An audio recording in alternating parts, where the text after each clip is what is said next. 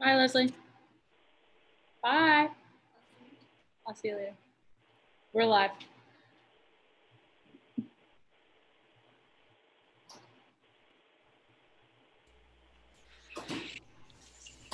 Hey everybody, it's Mike. Hi. Hello. The uh, the message is saying that the host has stopped my video. So I've often been told I'm back. I was gonna say. Here we go. Mine was confusing, Nick. I got your invitation, which Christine already had a series, so I, I th- maybe the series ran out because when I opened up my calendar, it wasn't there. But when your invitation came, I accepted it.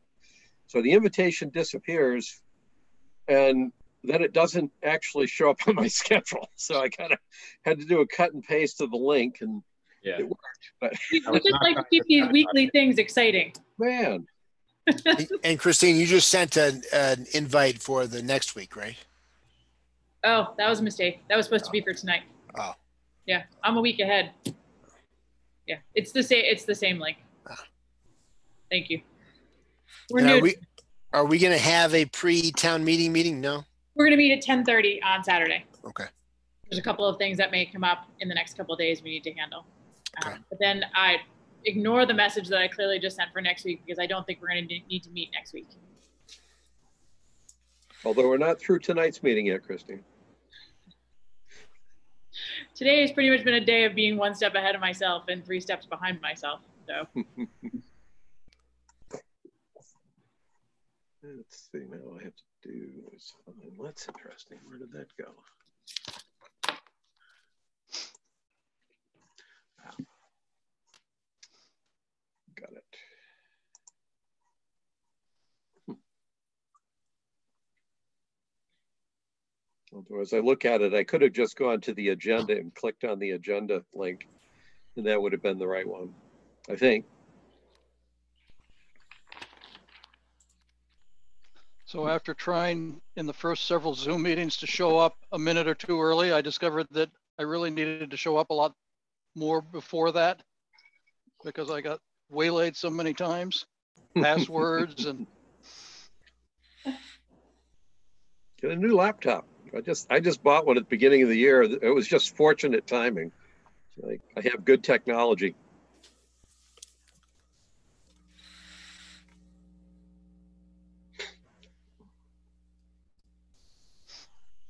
did you get one of those uh, i7 chips? Uh I actually think it is. Yeah, it's a it's a Lenovo Yoga. It's like one of the latest ones they had.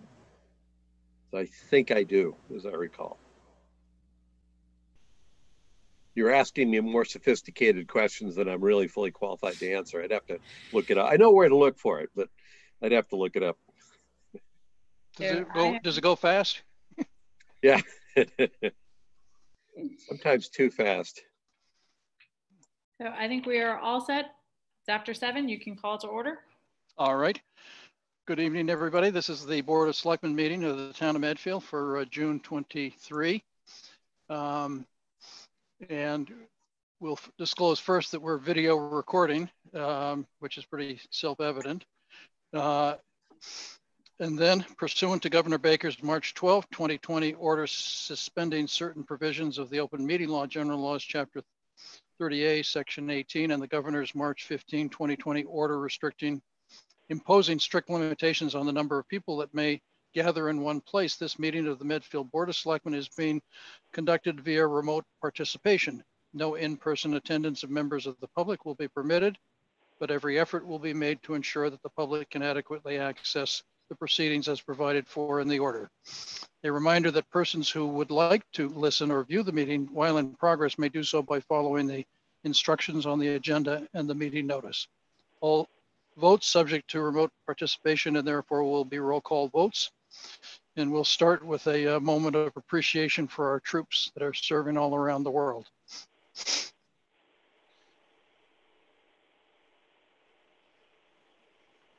Thank you. Um, So first on our uh, list of appointments is Mo Goulet, Maurice Goulet, Director of our Public Works to discuss shared road concept. Hi Mo, thanks for coming. How you doing? Good evening, everyone. Um, I just wanted to uh, talk a little bit about uh, South Street Extension. Right now, we're in the process of grinding and paving that roadway from Route 27 out to the Norfolk Town line. It's all ground up right now. Uh, we're hoping to get that paved within the next week or so. Um, looking at for the contractor's availability. Um, with that being said, we're um, we're looking to dedicate and implement some uh, bike lanes into that roadway um, from that, uh, like I said, from Route 27 to, to the Norfolk Town line. Um, we have a draft complete streets policy that we're that we've worked on, and it's, it's in a review process now. We're going to ask um, the Board of Selectmen to look into signing that uh, for us um, in the next coming months. But uh, still going through review and want to make sure everything is right on it before we we do it. And the idea is to kind of implement a complete streets policy to a lot of our roadways that we're designing and rehabbing and reconstructing to give it um, the uh, trying to get service all modes of mobility in town, whether it's pedestrians, vehicles, trucks, uh, emergency vehicles, bicyclists, uh, to integrate all that into our designs. So with that being said, we'd like to uh, look into dedicating some bike lanes to that South Street extension, if, if at all feasible. Um, we want to install these uh, with the necessary criteria that we need, and uh, but with safety being the number one priority. If that's not a feasible um, action for us to take when we uh, look into the design of it, then we would uh, consider looking into sharrows, which are traffic markings on the roadways that just inform vehicles that bicyclists could be on this roadway as well and please share the road with them and we would put signage up to mark that as well so we're trying to we're starting the process for the complete streets um, in our com- complete streets policy would be available uh, um, eligible for grant opportunities for a lot of different projects with uh, transportation and um, we put we would put together a prioritization plan to show what the needs of the town are in these different mobility needs for the for the pedestrians, bicyclists, and vehicles. So I'm just kind of looking for your support to implement this. If uh, not the complete streets policy yet, just to start um, as uh, looking into dedicated bike lanes or share sharrows, whatever's feasible for the South Street extension at this time. Questions, Gus? Um, we, is does this involve a widening of South Street extension? No, that's why um, we would look into the dedicated bike lanes to see if the criteria would fit for the for the width uh, of the lanes uh, in either direction. Um, if it's not if it's not feasible for that, we would consider looking into putting those sharrows in instead. So we would not be widening. And will this include uh, sidewalks for pedestrians as well? Sidewalks on South Street Extension are already in place. So that's already covered. This would just mainly be opening up the the the, op, the a better, safer opportunity for bicyclists. Correct. Has there been any uh, feedback from the public about this? And, and the only, where I'm coming from, uh, what you're trying to do here, I'm on board with, but I'm also sensitive to the fact that South Street is a major commuting road Right. Uh, so I, I, have an apprehension about that unless everybody thinks it's a great idea. Well, it, like, like I said, we would we would see if it was feasible and safe. First okay. of all, the safety is the number one concern. So if it we don't feel it would be safe to put in, I talked to the police chief regarding the sharrows. Uh, then we didn't talk too much about the dedicated bike lanes, but uh, she was all for it. And uh, but uh, like I said, I wanted to bring it to your attention first before we we um, encourage that. Okay, so so speaking for me at least, I, what you're trying to do, I, I I'm on board with. How we do it is the piece that I'm, most concerned about. Um, editorially, I'll tell you that I think Wellesley has completely screwed up Washington Street with sharrows where some places it's the entire lane seems to be for bikes. Other places it's a more conventional bike lane, and some places there's no lane at all. Um, so I, I, will simply say that editorially is that doesn't strike me as a safe. I don't, you can talk. Maybe I'm wrong, but that particular configuration that they have in Wellesley on Washington Street on Route 16 doesn't look to me to be at all safe. It seems almost designed to create confusion. I just don't know if any bicyclists actually have the gall to get out in the middle of the lane, like during rush hour, where it'd be a problem. So, uh, Well, it's not, it's not so much to get out in the, uh, in the middle of the roadway. That's not the idea. The idea Yeah. is still to have, you know, where they should be, uh, riding, but also if we can dedicate a part of the shoulder to a dedicated bike lane, they have their own area to ride. If Yeah. it's a sharrow, they would be riding on these roadways anyways. Yeah. Um, so it's basically in kind of, uh, notifying the public that pe- there are bicyclists that could be on the roadway, please, you know, Mhm. share the road with them. because my observation about shoulders of our roads, when I, when, and having ridden a bike on the road, I sympathize even sometimes when bicyclists are a little far out from the edge, is the problem with the shoulder. Most of the time, as a bicyclist, you could ride, you know, on the very edge of the lane, but every once in a while, that's the place where the worst, you know, disrupted asphalt is. That's where the, you know, the fittings for catch basins are. And and sometimes if you're a bicyclist, you almost have to be aggressive simply because you can't afford to get pinned in there by a car that thinks you're not going to come out another two feet. So seems like the implication here is that we would we would be making better shoulders on our roads than we maybe have in some cases.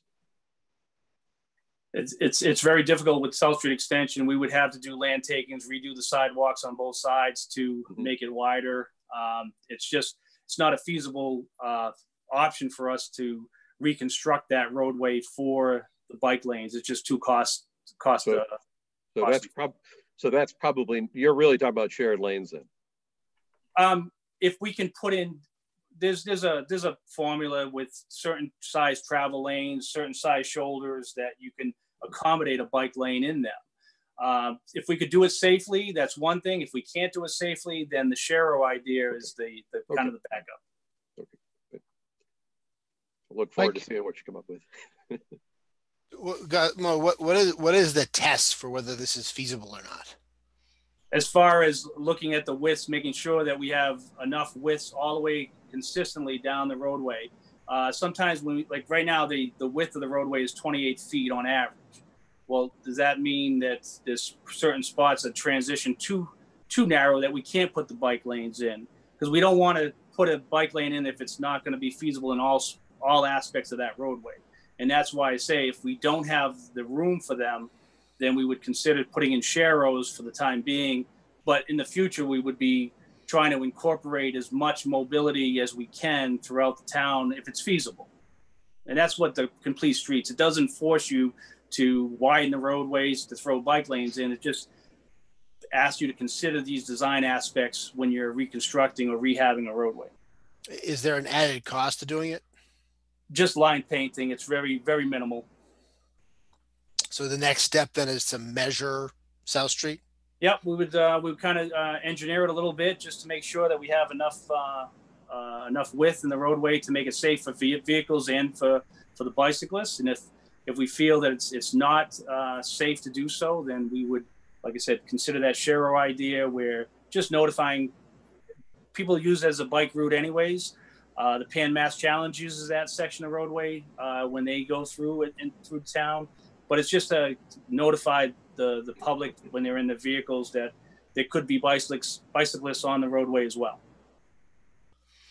And and is this coming up now simply because we're, we're repaving South Street now? Yeah, I mean it, it it makes sense to do it now while the while the paving is being done to incorporate it uh, with the line painting instead of waiting till the lines uh, fade and disappear if we you know to change our minds. Um, but again, it's it's just for consideration. Uh, want to get your thoughts on it before we uh, we try to do something out there. 'Cause I would just say my, I mean, I have no objection to it. I, I, I agree with Gus. And I would say as, as you're looking at road safety in Medfield, I mean, South Street's probably one of our safer roads, both for bicyclists and pedestrians because it's wide. You have sidewalks on both sides. We have other roads, you know, which I know Gus knows well, obviously sections of Harding Street uh, that are also heavily trafficked by bicyclists and, and commuters that don't have any sidewalks. Um, and, uh, don't have any room for anything, right? So if you're looking more broadly at road safety and pedestrian safety, there's obviously other places in town that would be a greater priority. There obviously would be a greater cost to Mhm. doing that as well. Um, but as long as this is not something that's going to preclude us from prioritizing streets and roads in town, which largely are the older streets and roads that were paved and set out before kind of having sidewalks and before the width that we have now is more standard. As long as it's not going to push those aside or prevent us as part of an overall kind of master plan for the roads, prioritizing the roads where we do need to make safety improvements, I, I, I have no objection to it. Okay. So I'm following along with the same uh, uh, approval of what you're doing, Mo. Uh, My understanding from Mike Sullivan was that the uh, uh, the governmental authorities on the state and the federal level are requiring us to, to look at bike lanes on any new construction of roads that we do. So I'm assuming that that's part of why we're doing this is because we, we're supposed to be doing it because of the, the, the things that are imposed upon us from above. Um, it, it, you know, it, I think it's it's it's more the the fact that uh, you know we're trying to uh, expand as much different types of mobility throughout the town. It, it takes some vehicles off the road sometimes. It gives people an avenue to, to travel the roadways safely. Uh, you know, we'd love to put sidewalks on every road in town. We'd love to put bike lanes on every road in town with the vehicles, but it's just not feasible on a lot of these roadways unless you spend hundreds of thousands of dollars to change that. Yep, and that's not feasible usually. So um, on on South Street, uh, the first thing that you're talking about, the, if you do a, uh, are you talking about a separate bike lane Correct. as the optimal, and and that would have a barrier between the bikes and the cars somehow? It would it would only be by line painting to Oh, by separate line painting. Okay. Yeah. uh, but it would be the use of the shoulder for that. Um, the shoulder still can be used for vehicles that, uh, you know, in emergency situations, pull over to the side. It's not a blockade of any kind, but it's just gives the bicyclist a uh, an area where they can ride, hopefully safely to to their destination.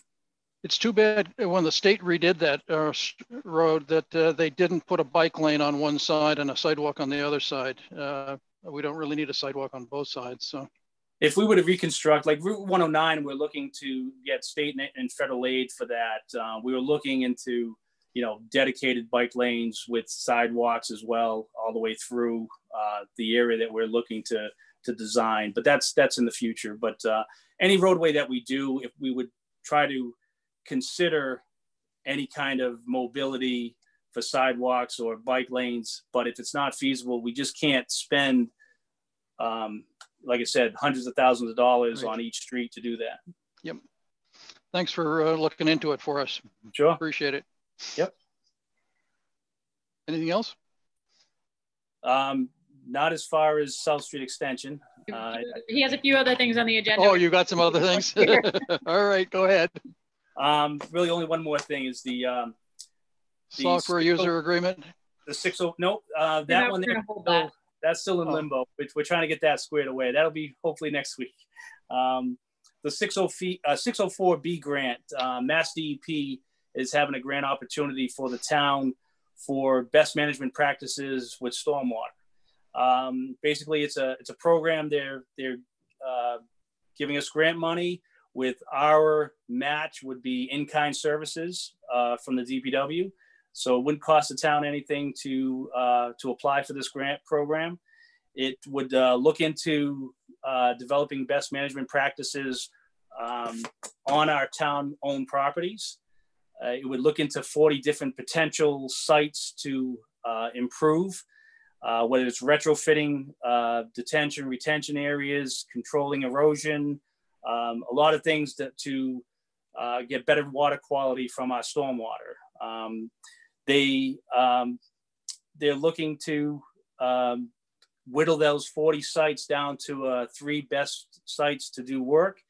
They would uh, give us conceptual plans to um, to create these projects, and it's it's around thirty six thousand dollars of grant money that would come to us to develop these plans and these sites to help uh, to help give us better water quality with our stormwater runoff. Questions, Gus?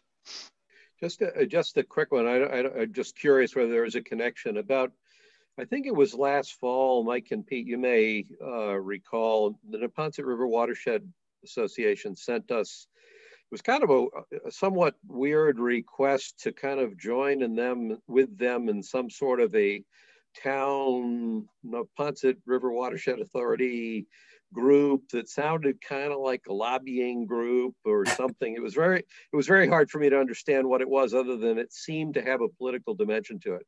Is that, uh, has this got anything to do with that group? We, we deferred on that. I just am This is above and beyond, this is above Okay. and beyond that. That's, um, the Stormwater Partnership, we are, we are members of that consortium. okay. with other cities and towns.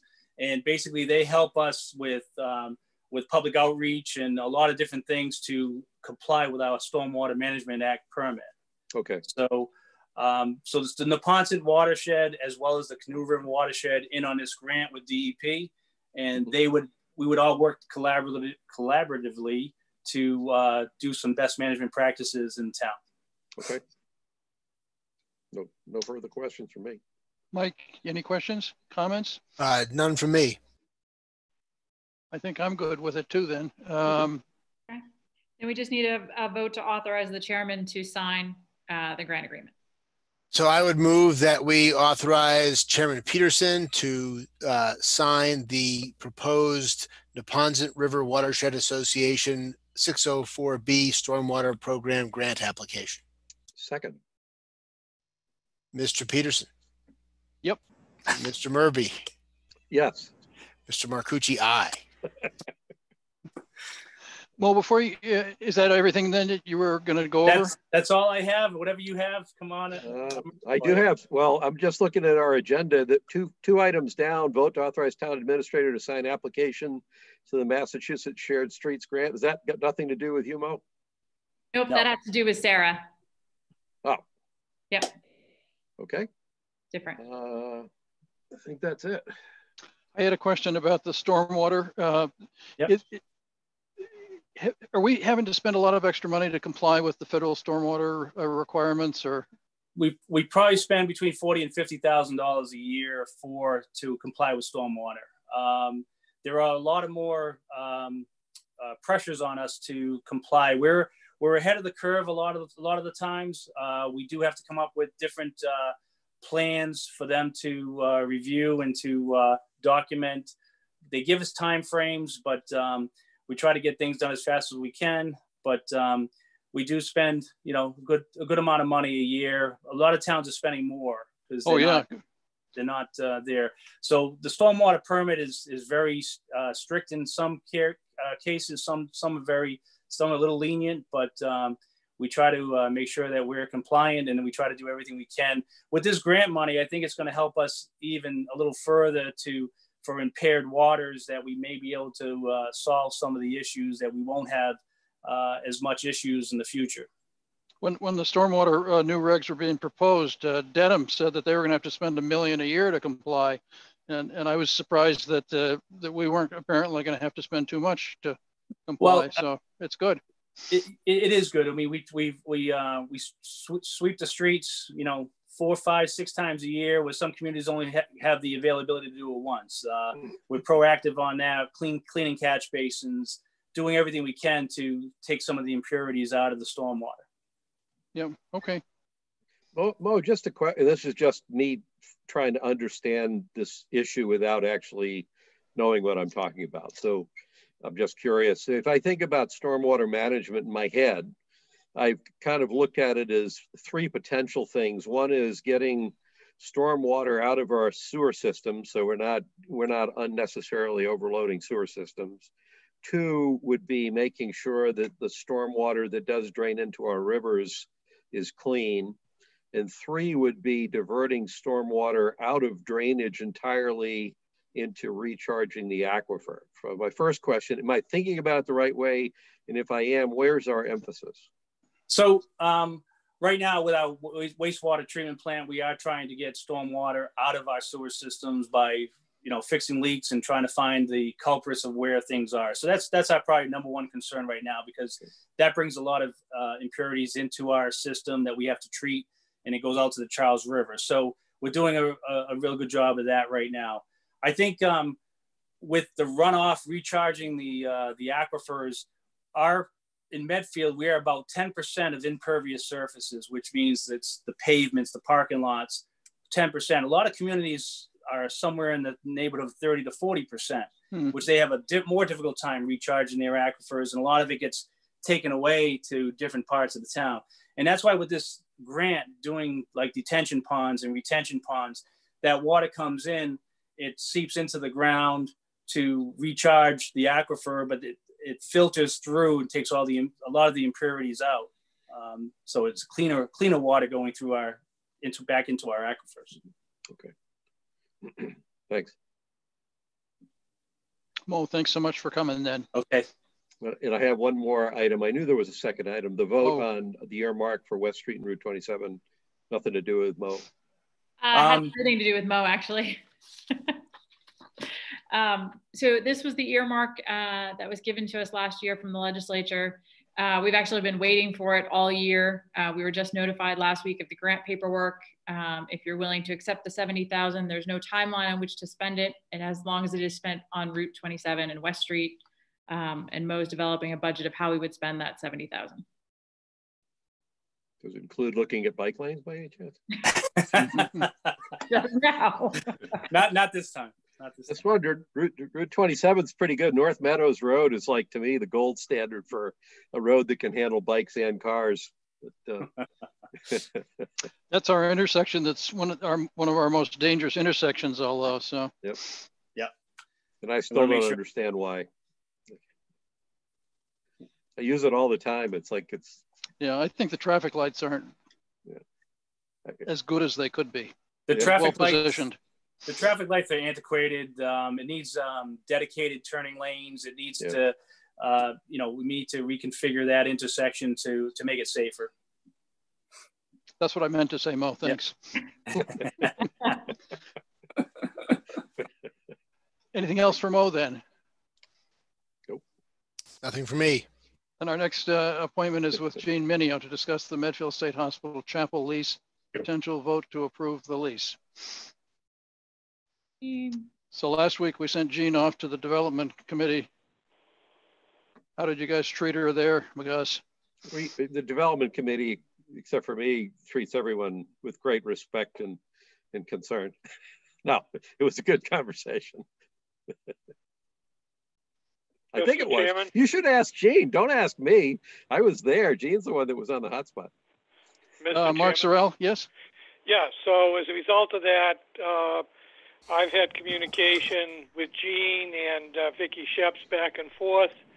Uh, principally, uh, Vicky uh, revised uh, clause or paragraph four of the lease to provide language whereby the town uh, reserves the right for to use the parking and uh, green space uh, as well as the public, provided it doesn't interfere with uh, the the uh, alliance's use of the property.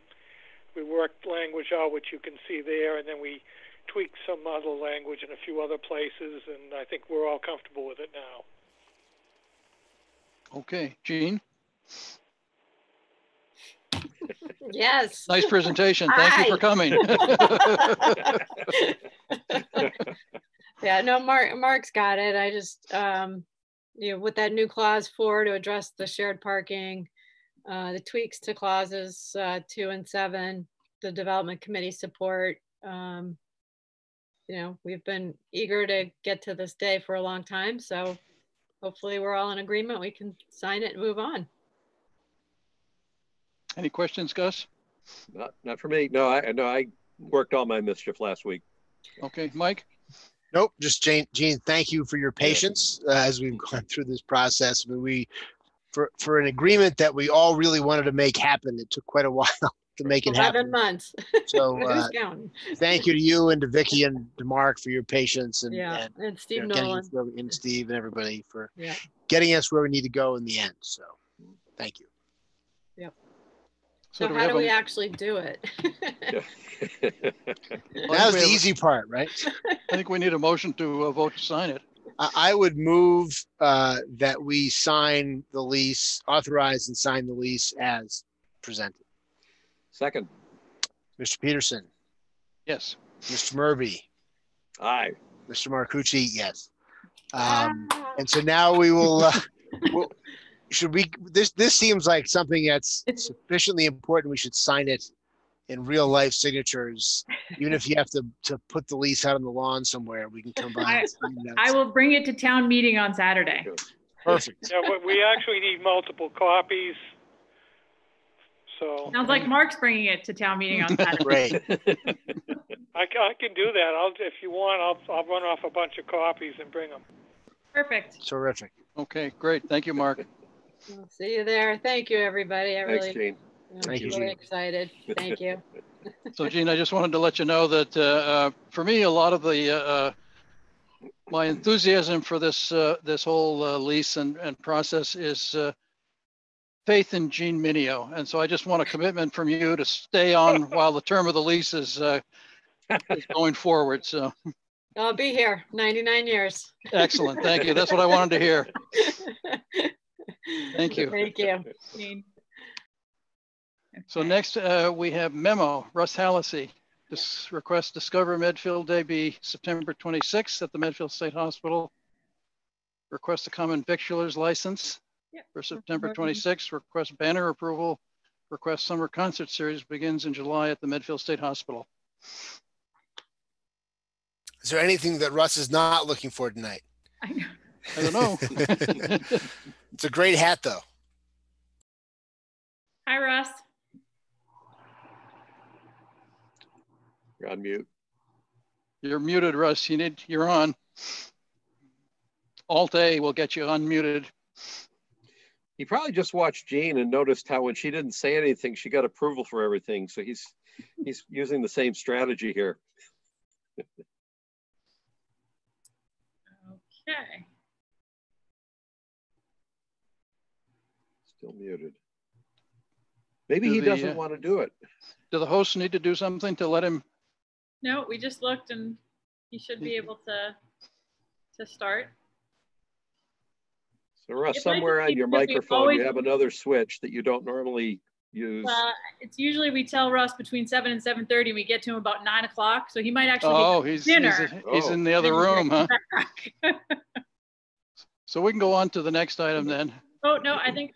Hold on. He just came up. He came in. Good. Hi, Russ. There we go. There he is. Uh-oh, Can't hear you. but you're not muted.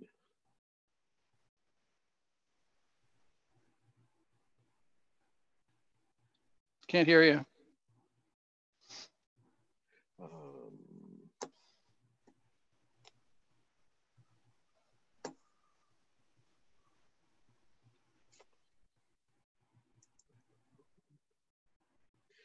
Hey, Russ, if you've got the uh, icon, the microphone icon in your lower left corner, if you click it, it'll give you a select microphone. And if you have more than one microphone, it may be that it's gone not to the one you're actually using.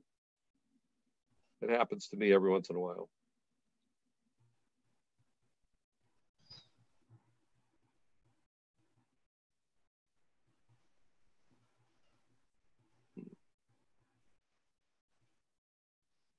Maybe not.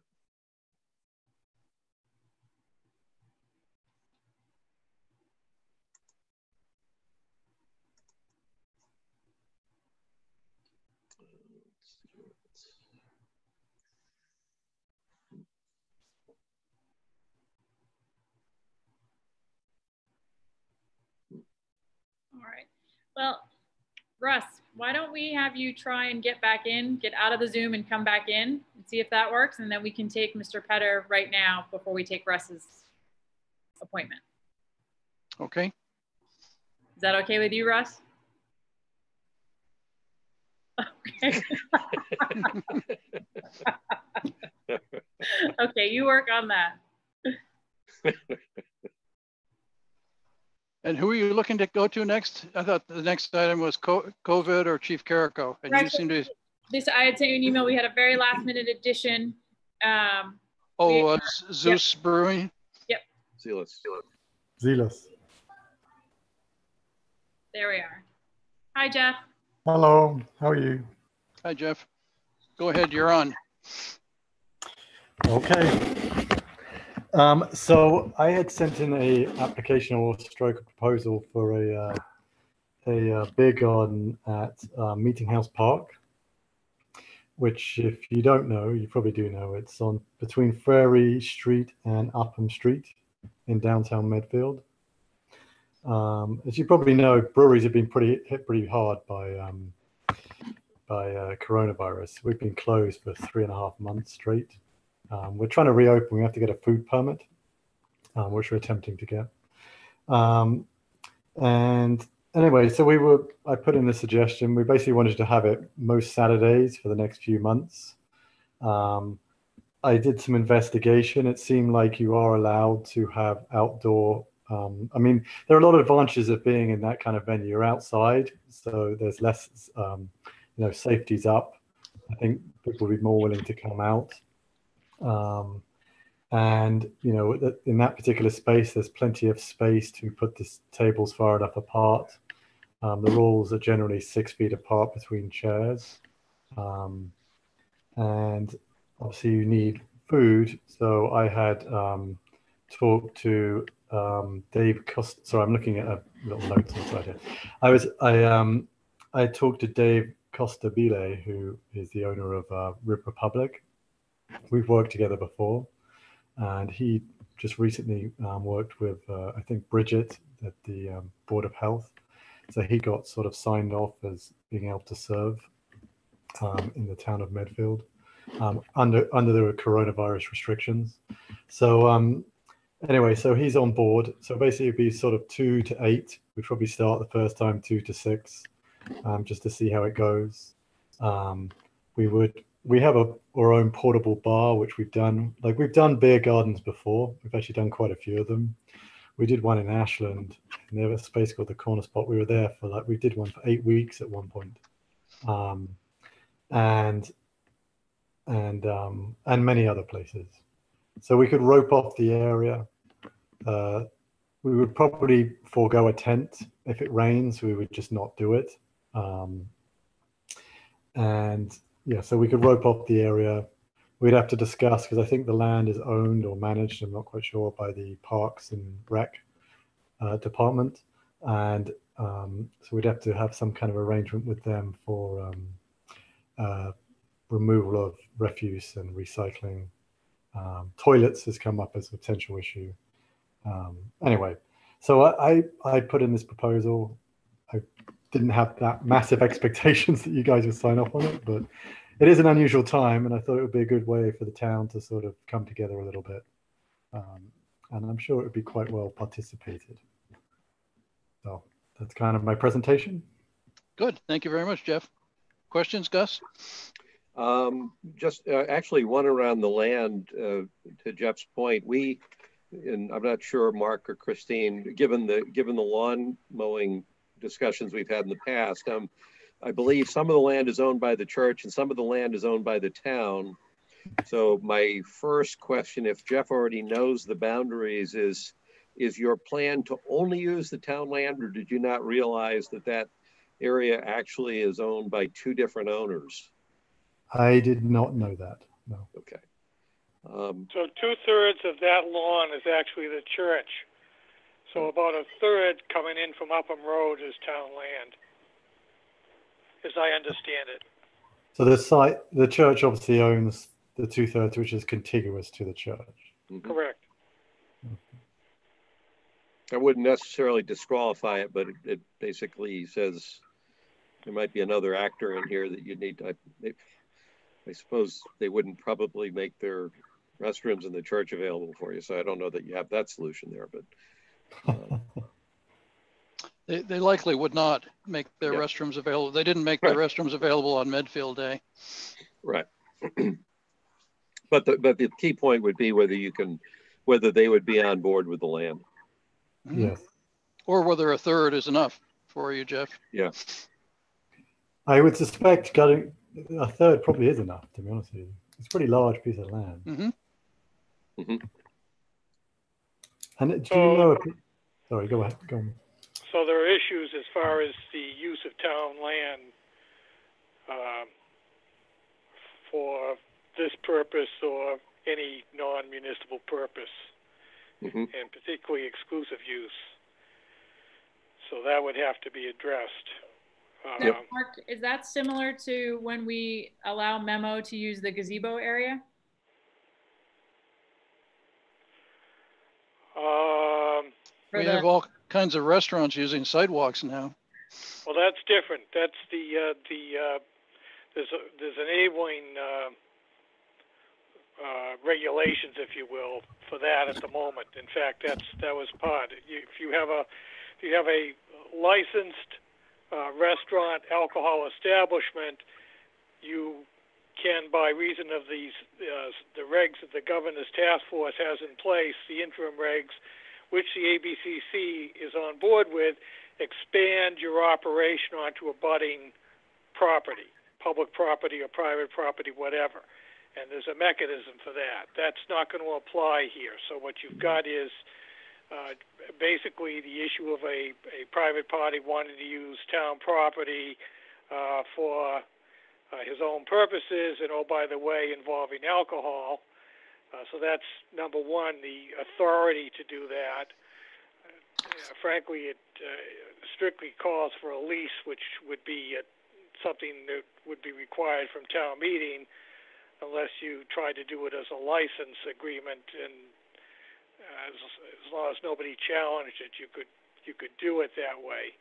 Uh, and then uh, the issue is, what about others that have these type of uh, establishments and needs and would, would participate if such a program were available? Then the alcohol licensing in this case would be uh, one-day licenses as needed, I guess, because uh, it doesn't fit under anything else that I can think of offhand. He is a farmer's brewer, but that uh, only allows you to sell uh, at uh, agricultural uh, sanctioned events uh, by the Department of Agricultural Resources or to sell in bulk. So, and that's to sell in bulk. So, otherwise, you pull one day license for a uh, to to serve for consumption. Hey, Mark, how did the farmers market work at the church?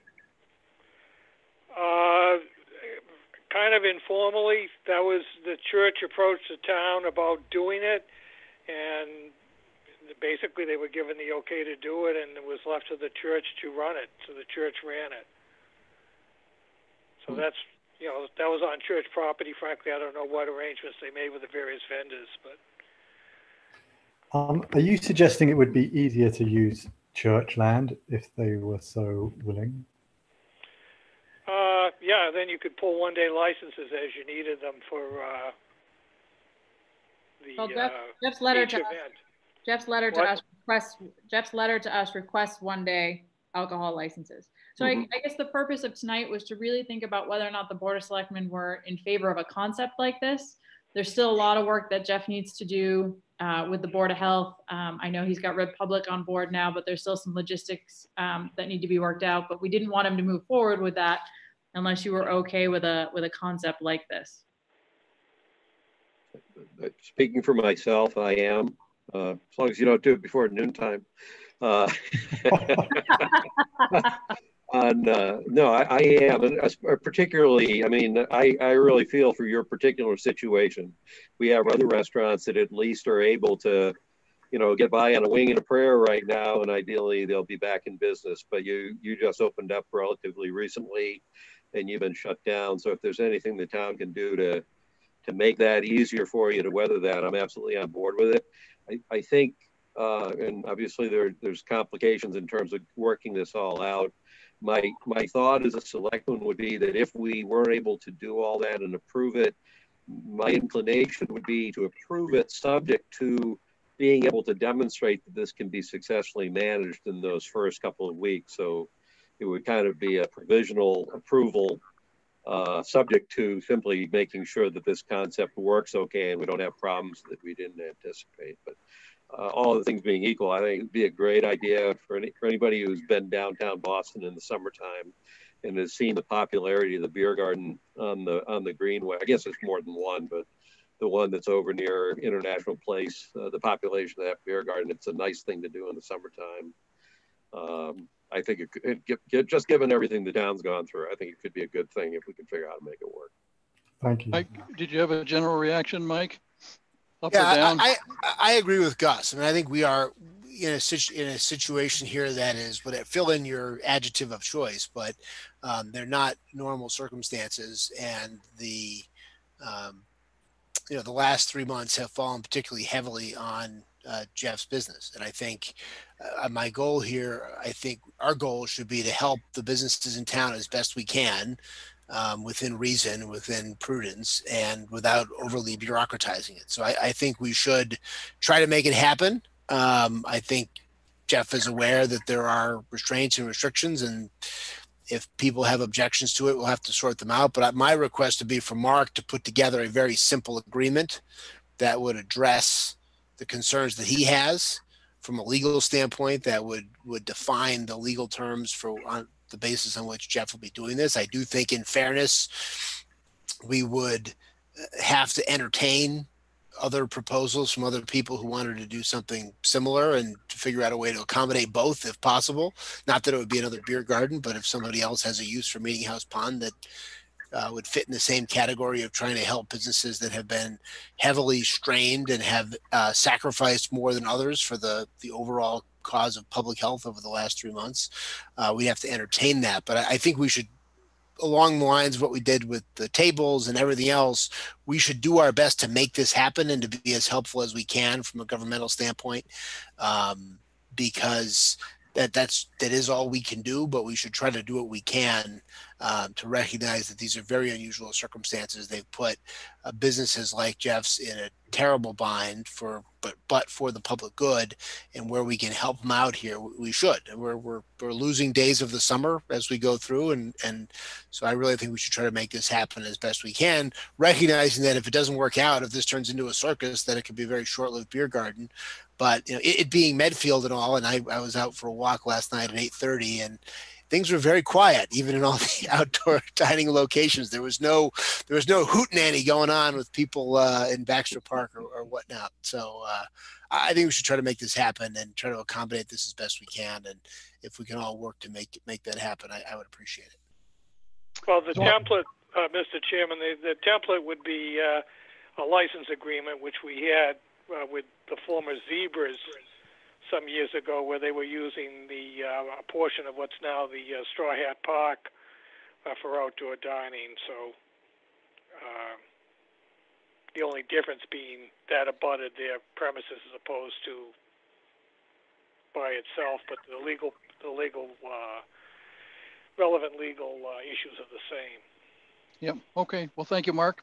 Uh, Jeff, I think I'm in on board too, and, and really would like to see the town help you out to make this uh, work. It seems like a great idea. Sounds like it could be a lot of fun for the people in town, in addition to helping your business. So, um, right. If, if Mark please. starts working on the agreement, but Jeff, in the meantime, you reach out to Bridget from the Board of Health and start working with her. She has a, a couple of concerns, uh, and I think if you can just work through the logistics with her, we can move forward.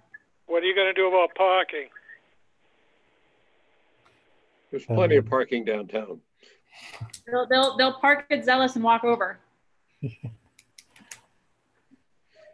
I did, for what it's worth, I actually think the the toughest question will be uh, figuring out the restroom question. I agree with you. Actually, I think tent was the hardest, but when you don't have a tent because you just won't be open. Mm-hmm. Um, but I think restrooms are tricky, yes. yeah. and tables. But Mm-hmm. Yeah. We can talk. We can talk about that way. There's a couple things in the letter we have to talk about. Like you're still not allowed to have live music, so we won't be able to approve that until the next phased opening. Um, you won't actually have, be able to have serve from the bar. You actually have to have people served at the tables. But we, Bridget can work through all of that with you. Yeah, I assumed it would be a table service. Yeah. Um, but she can work. She can work. I actually just met with her this afternoon to talk about this, and uh, she's ready and waiting for your call tomorrow. Okay. And, and if you're only open one day a week, Jeff, it, you, the town may want you to move the tables and chairs to the side somehow so they're not just set up permanently for the whole summer. Yes. Um, yes.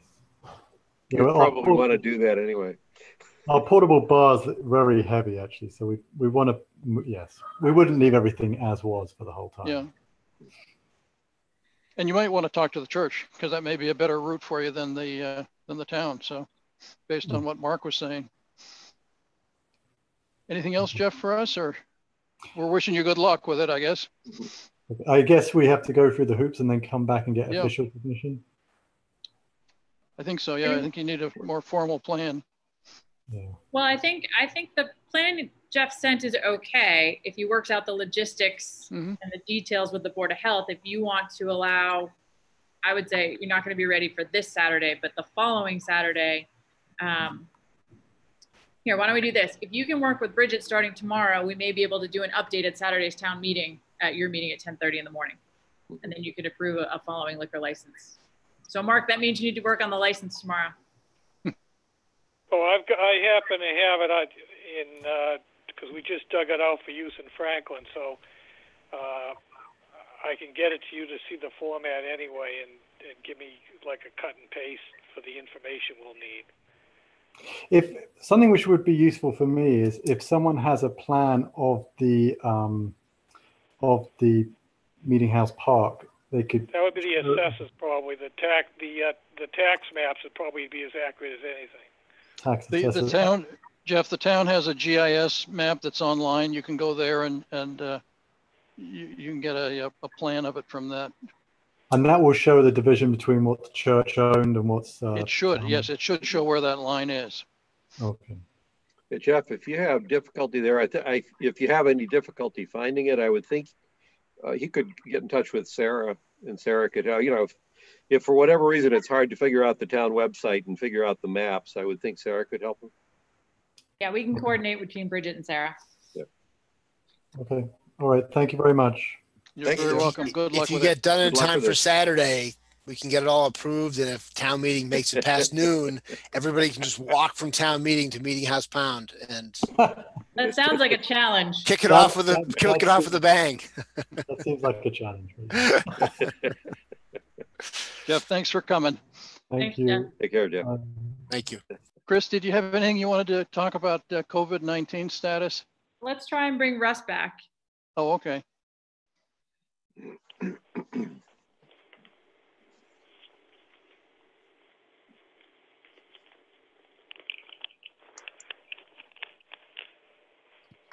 Hi, Russ. Hi, a little better. Hey, Hey, all right. Well, I'll tell you, with all the Zoom meetings we I've had this summer, though this this time of year, the first time I've had a problem. And uh, and I was going to say I love these Zoom meetings. With uh, it's my only social contact out there. So yeah, glad to be with you guys. Um, so yeah, with this COVID 19, as it's disrupted everybody else's life, uh, it's having an effect on planning for Medfield Day. And even though that you know we're we're fairly down the road, you know September 26th, um, it's kind of still on the cusp. Uh, you know whether we, you know all of the openings will be allowed, whether there's going to be a second wave or not. And so we uh, decided to uh, go ahead and, and plan it, figuring that it will happen. So as you may have seen, you know, invitations went out to last year's exhibitors with an announcement that if it doesn't happen, you know, because of COVID, everybody gets their money back and and stuff. But uh, you know, we can't wait till the very end to, to plan. So we are planning. And then uh, in the midst of all the planning, the committee said, you know what? Even if it's allowed an open season, you know, whatever, there's still going to be people, booth people, and you know, uh, public coming to the show and rides and stuff that people are still probably going to be concerned about social distancing and all. And so we really need to take that into account. And the land down where we normally have it in the center of town isn't big enough to allow us to spread out the booths uh, to such an extent that would uh, would be able to uh, accommodate that. So we put our thinking caps on and walked up to Hospital Hill and decided that that was a, a pretty good location to do it. Um, and if I could, I'll kind of walk you through how we had conceptualized the, the layout. Basically, it will be up at, inside the quad. So uh, inside there, where there's the uh, you know all the buildings uh, surround the uh, the paved uh, the paved area that goes in a circle, and then there's a couple of buildings in the middle, the chapel and whatnot. So the the the, the, the plan is to have the booths set up around the circumference of the paved area and using pretty much three, three sides uh, should be enough to allow us to have our basically about 150 booths with 15 feet of booth space. And then we could probably have 15 to 20 feet between booths, uh, which would be really well spread out. If you could also picture the, and then also in that area along the road to have the food court, again, nicely spread out as needed. And that would give plenty of space for all those booths. And then if you could picture the quad, the north, I'm gonna call it the northeast corner where there's a lot of grass area up there. That would be where we would have the kids kids alley. And we would modify the kids rides by not having the bouncy, uh, the bouncy uh, rides, but have more individualized uh, things that the kids could uh, be active with, where they're kind of one-on-one. Um, and that area, we've we walked it off. It would be plenty of space. It looks like it's even more space than Montrose's parking lot gave us for the rides we had there. And then if you could picture the southwest corner, so diagonally across the quad from that, that's another large grassy area where we would conceivably put our tables uh, for the, uh, because that's near where I would have the, uh, the food court be set up and we could have our tables and tents set up there for our food uh, people. And again, there's plenty of space to, you know, spread out the tables and whatnot, and also be the entertainment stage area. And we'd be bringing in uh, a large generator, you know, those kind of generators that are towed behind trucks for large, large construction sites we have availability, we have available to us for one of those and then several um, portable uh, generators as needed.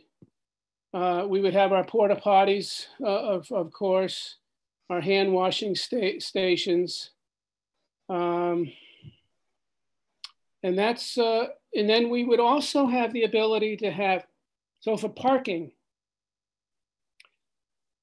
as you drive all the way up into the campus and then you kind of go to the right, there's a little parking area there where you can park and then walk onto the campus uh, quad. We would reserve that for handicap parking so that people don't have to walk a long way who are handicapped. So that would be handicap parking. Again, as you drive into the campus on that left side, about halfway up, there's another little parking lot there where we're planning on having our volunteers park so that the volunteers would always be able to, you know, should be able to uh, have enough parking there uh, to, to, to help, to, to handle them. And then we would like to have parking for the public uh, in the area in the front of the campus along Hospital Road. As you drive into the left there, there's, a, you turn into the left, there's a grassy area up there that events have used for parking.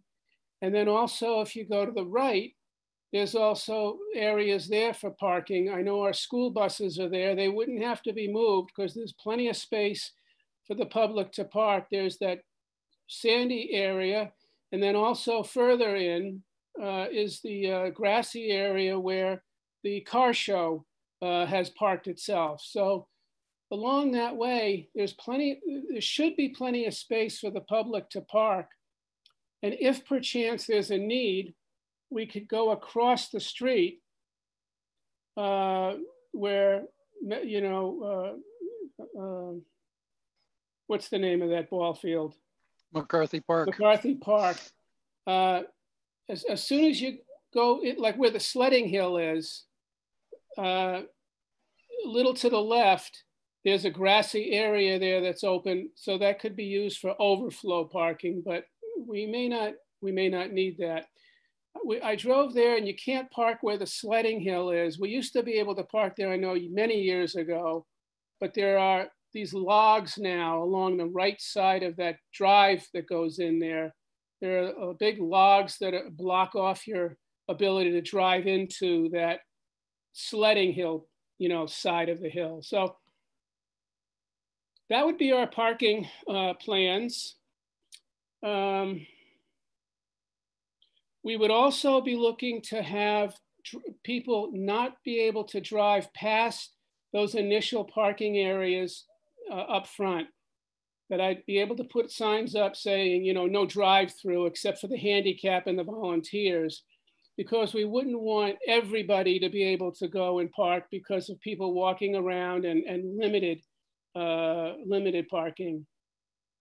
And then also the concern was about dog walking that we would be permitted to prohibit unleashed dogs, not dogs themselves, but unleashed dogs uh, during the time that we're going to be there, from like seven o'clock in the morning set up to um, four o'clock when everybody is is is taken down and everything. Because I wouldn't want dogs to be running around the event uh, unleashed.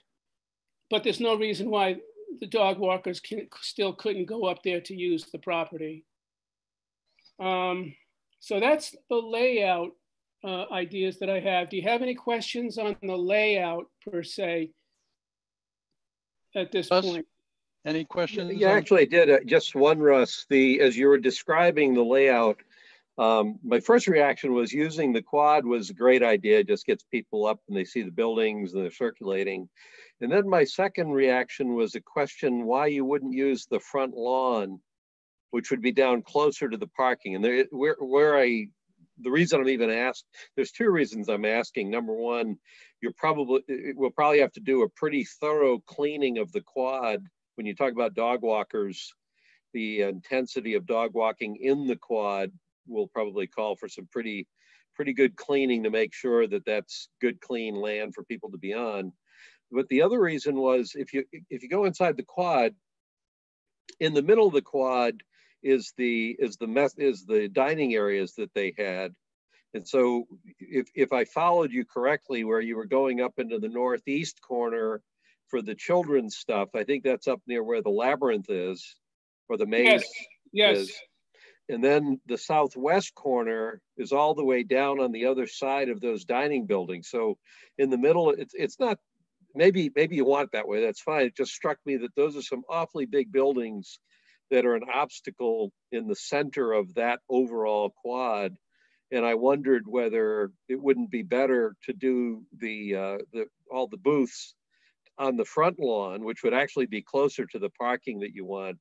But it would be you wouldn't be it, you wouldn't be interfering. You know, the buildings wouldn't interfere with the flow. So Yeah. Well, the, the, as I walked around that front grass, I don't think it would be big enough to handle the whole event. Um, and there's no intent for people to walk from the kids area uh, through the middle of the quad area, through the buildings. Uh, the plan is that they would walk always on the paved area uh, Okay. on the circumference. And I don't think it's going to be attractive at all for people Mhm. to want to cut through. Now, w- will there be people cutting through? You know, possibly. mhm. Um, but okay, uh, I- there's also a big difference between people who use the kids area uh, and uh, and the rest of the event. Typically, at the Montrose School, the people who went to the kids area pretty much stayed at the kids area. But mm, so I think it's best to be up at the quad. We've got the nice paved area for people to walk. Uh, it's and it's nice, nicely uh, uh, laned uh, Mhm. as such, so that we can have the people be spaced out again, for social distancing, you know, should, should they, they need it. Okay. The, the only other editorial point I would make is that I wouldn't, depending on what you want, I would not rule out the idea that we would just basically not allow dog walking on that day at all. Uh, although I, I guess people, I'm trying to remember during me- normal Medfield days, I guess people bring their dogs. Yeah, do, there are people who, who do bring them and it, it doesn't bother us Okay, uh, to have them. And I wouldn't want to necessarily have the dog walkers not be allowed to use the rest of the campus, basically. yeah. They yeah. may not come into the quad area, but they may have Right. all the other areas to use. And I wouldn't want to, That, that's what I was getting at, is that, you know, I wouldn't rule that out as a possibility if there was a reason why you wanted not to have people, even with dogs on leashes, going through the quad where this is all happening. Um, but it- I'm not recommending, it, I'm just. Yeah, and I'm yeah, okay with it, but I just like to have them have to park up front like Yeah, everybody else. Okay, Um, we we definitely are working with the so this whole concept of COVID and, and compliance and all, and which state which phase we're in, and what we will be on September 26th, and whether or not there'll be a second wave or not. So I've talked with Nancy Benatti over at the Board of Health, and she and uh, to let them know what the plan is. That I was going to go before you today to uh, seek permission and so she and um, uh, Bridget, I think it is the agent, uh, are going to work with me on uh, what ideas they have as far as what kind of compliance we will need at that particular time and and and such. Uh, you know, because of the food court, uh, you know, obviously, and then other issues about social distancing and and whatnot. So we are working with them uh, right up through through the event. Uh, and if, if perchance we get pulled because of, you know, the state, you know, pulling us, well, then Medfield Day won't happen this year. We, we don't have a contingency for another date, a rain date, so to speak. Those have never worked in the past. Uh, people don't save two dates uh, in, in their lives and the rides, we couldn't reserve, you know, two, two, two dates for rides. So rain dates or now I'm going to call it a COVID date, uh, wouldn't wouldn't work. Um, Uh, may I just jump in with yeah, one, yeah, two things here? Absolutely, Uh, go ahead. So one is, I I think on the layout and everything else on the campus, you should work that out with the Buildings and Grounds Committee, who may have some thoughts and ideas. And, you know, I, I, I think this is a great idea. I'm all in favor of it, but just work out with them. You know, I, I don't have any opinion about where anything goes. They might, but um, if you could work that out with them, that would be great. The second thing would be just Would to that be coordinate. John Thompson. Yes It is. Yeah. Yep. would be to coordinate with Parks and Rec. Um, there is soccer on Saturday mornings typically. Now, who knows if that will be true um, in in COVID land in the fall. Um, the uh, McCarthy Park on Saturday mornings in the fall is a madhouse. Um, and so you'll want to coordinate with them. There, there won't be any parking over there, at least until that has cleared out. I, th- I think the two events can probably peaceably coexist, um, but there will need to be some coordination because there is not enough parking for people for multiple sessions worth of cars between the baseball and the soccer at McCarthy to accumulate. And so the successful operation of a Saturday morning at McCarthy Park depends upon the turnover of the people with the eight o'clock games leaving before the people with the nine fifteen games come back. And so it will be a problem if people stay there for Medfield Day parking. And so that'll need to be sorted out as well, whether you know, again, if there, obviously if there's no soccer or baseball there this fall, which would be a shame, it's not a problem. But you will want to coordinate with them because that is, you know, until about eleven o'clock in the mornings on Saturday, um, it's uh, it, it's it's quite a scene there. So um, you want to make sure you're you're not adding to it or it's not interfering with what you're doing. So other than that, I think it's a great idea. So you're saying that my thought of the overflow across the street would may not be possible because of those those sporting events. Not until after they're over. I mean, Yeah. generally speaking, there most of the action is done by noon. There may Yeah. be some sporting events if again everybody's season and schedule is being pushed back, so uh, that may not be an option for the whole day. Yeah, I'll Um, talk to them. So yeah, But the good news is there really is plenty of land up at the state hospital and there are probably plenty of other places to park cars.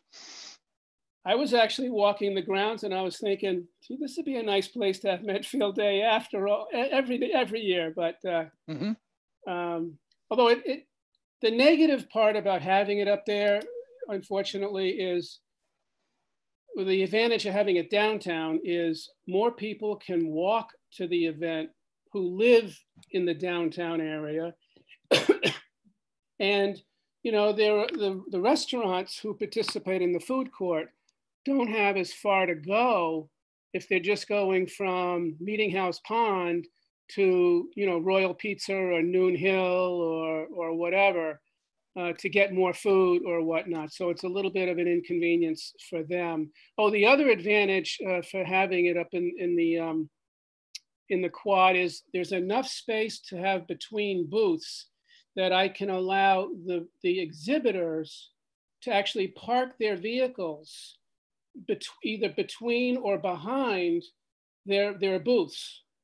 So they'll be able to drive to the booth area, unload, park there, and then load up again at the end of the day. So that'll be an advantage to all the exhibitors and lessen, you know, the parking requirements uh, uh, up front. Um,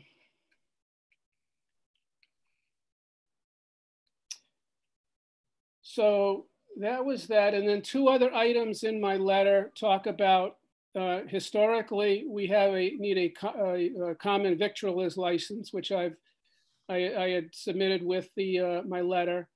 Uh, so there's the you know the the need for that approval. And as I said in there, there's you know you've typically waived the fifty dollar fee um, that you might charge with that, but if you choose not to waive it, that that that's fine. And then the second aspect is um, is the banner. We always ask for permission at that at this time to have our banner up there for the benefit of the uh, the, the, the townspeople so that they know about the this huge Medfield town event that happens every year. I under, I know we don't have a bucket truck available in the town. So Memo has, has uh, an electrician uh, friend of ours who has helped us with lighting over at Baxter Park. And he has a bucket truck himself, which he used uh, the past couple of years for helping us with the lights. And so my proposal is that uh, we have the bucket truck already available to us. And Chief Carrico is, is, is, is uh, if he wants to participate in the hanging of it, uh, he's welcome to, or we could just make the arrangements ourselves. And then also in consideration uh, for the town uh, allowing us to do this, we would make the bucket truck available to the town whenever the town has a need for a bucket truck, whether it be hanging its own banners, like for instance, town meeting banner, or if you decide to do another banner that you've done before for um, the school sports teams that won championships uh, or for whatever, uh, or if you had any other uh, needs for it, uh, uh, uh, you know, throughout the town year, we would, you know, make, make the, the bucket truck available to you for that in cooperation. So, So first, yep, go ahead. no, no, I was wrapping up. Okay, so first about the uh, the site up at the state hospital, um, I, I think that could be a very good site for uh, Medfield Day. Um, we've just leased out part of what you're planning on using, and so you're going to have to get permission from the Cultural Alliance of Medfield for uh, what you're talking about as well, because they're in control of uh, the lawn in front of the Lee Chapel now and the and the parking on the other side of the Lee Chapel. Okay, great. I'll talk with Jean. My thought for that was not to interrupt your thought there, but I am sorry. Uh, is uh, that I would also mention to Jean that she may want to have the chapel or whatever open um, for walkthroughs or whatever as part of their quote booth uh, for the day. Um, yeah, so now I'll make sure I talk with Jean as well. Yep, and, and I think that Mike's uh, suggestion was a good one to talk to John Thompson and his Yep. group. I would, I would also go to the police and, and talk to the chief about, uh, about all your plans too, and make sure. And the Board of Health obviously is uh, important, so. Most definitely. I'd be, I plan on talking with uh, both, both chiefs, fire and police, So and, Russ, and, and uh, the highway department. Russ, when you go to the Medfield State Hospital Building and Grounds Committee, it's John Thompson, myself, the police chief, the fire chief, and the DPW director. So you can hit us all in one day. Perfect. Perfect. Anything else for Russ? Russ, you want to talk about the concert? Yes. So as you know, we, we, Before we do that, do we need motions on any of these things or approvals? I think you need to go to the Building and Grounds Committee first to make sure it's going to fit in. Okay. uh, well, I'm going to need to move fast on this because I have to start letting my exhibitors know the change of uh, course here. Um, Well, I think, I I mean- think you've got a yes pending the specifics.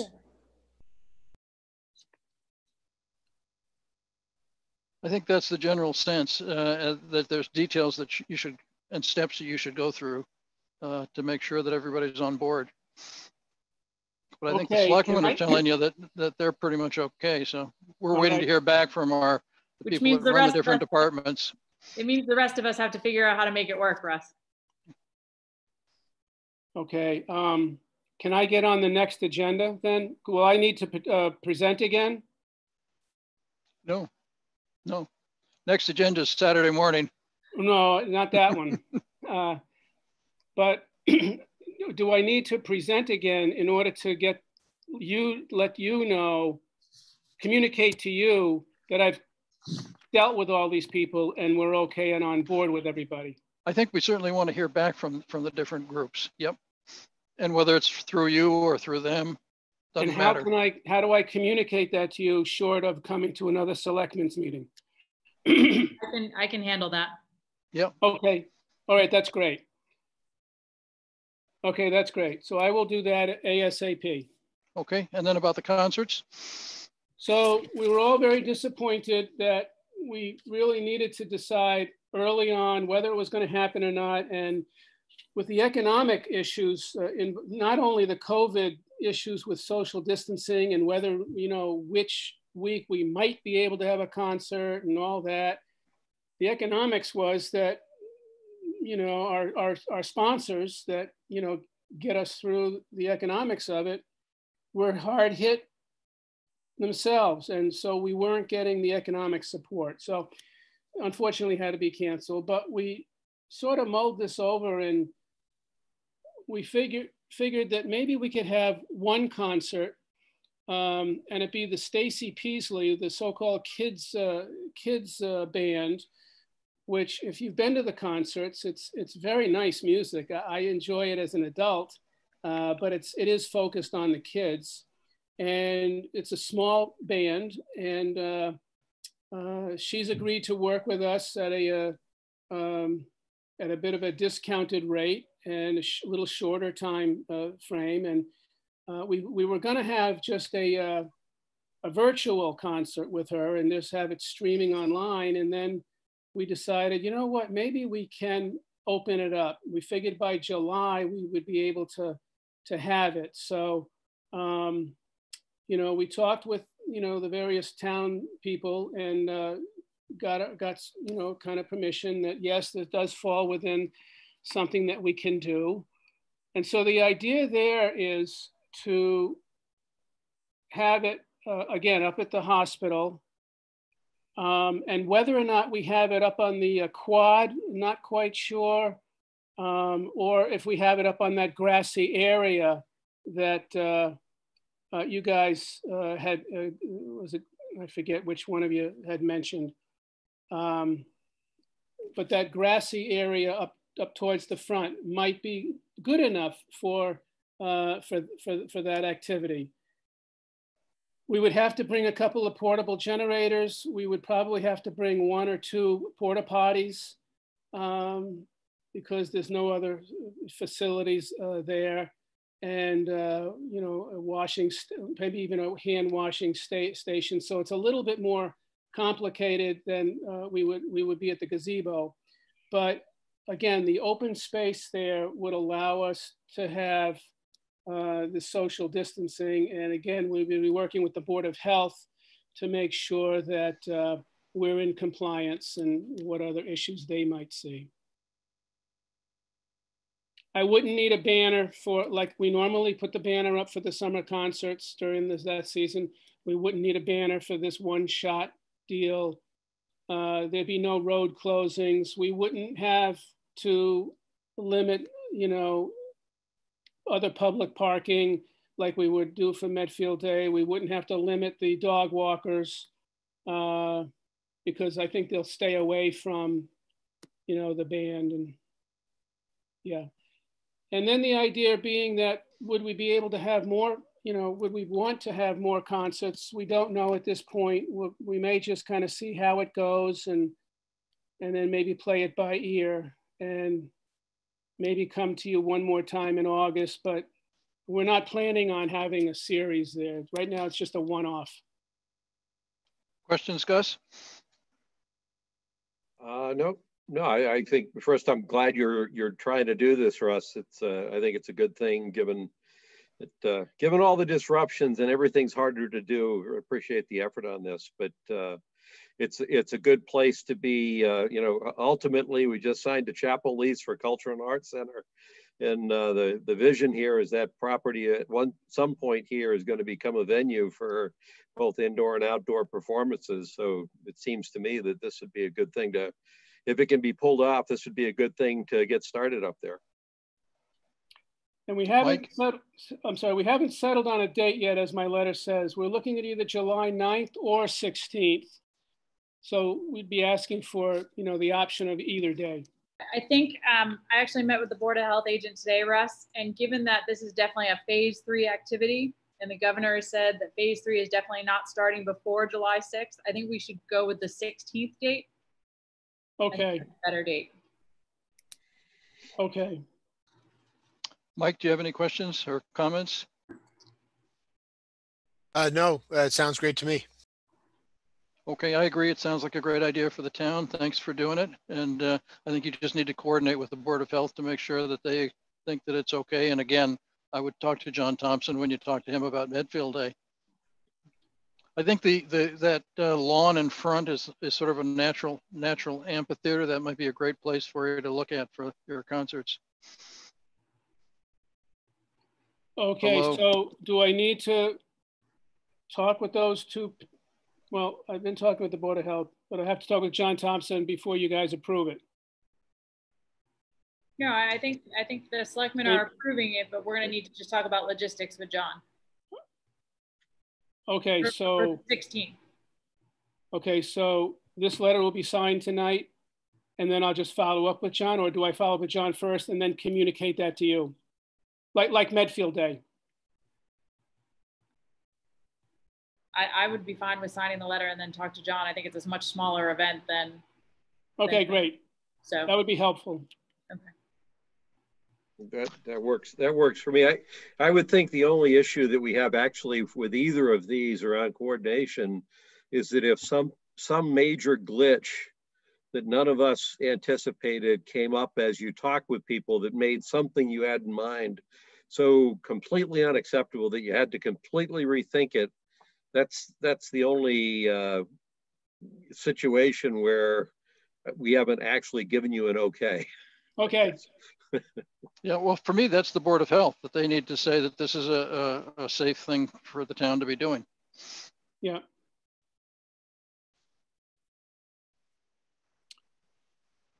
Okay, well, uh, I appreciate you guys giving me the time and, uh, and the thoughts also involved that I hadn't thought about. Thanks Thank for you, putting Russ. some things on for the town. Yeah, thank you, Russ, for, for making all this happen. I, I will say that there will be some disappointed people in my house household if the bouncy things are, are missing this year from, uh, although it will save me a substantial amount of money. So, Well, hopefully there'll be some other fun items that, that they might enjoy. I mean, you Um, also have to buy tickets for it probably, but that's all right.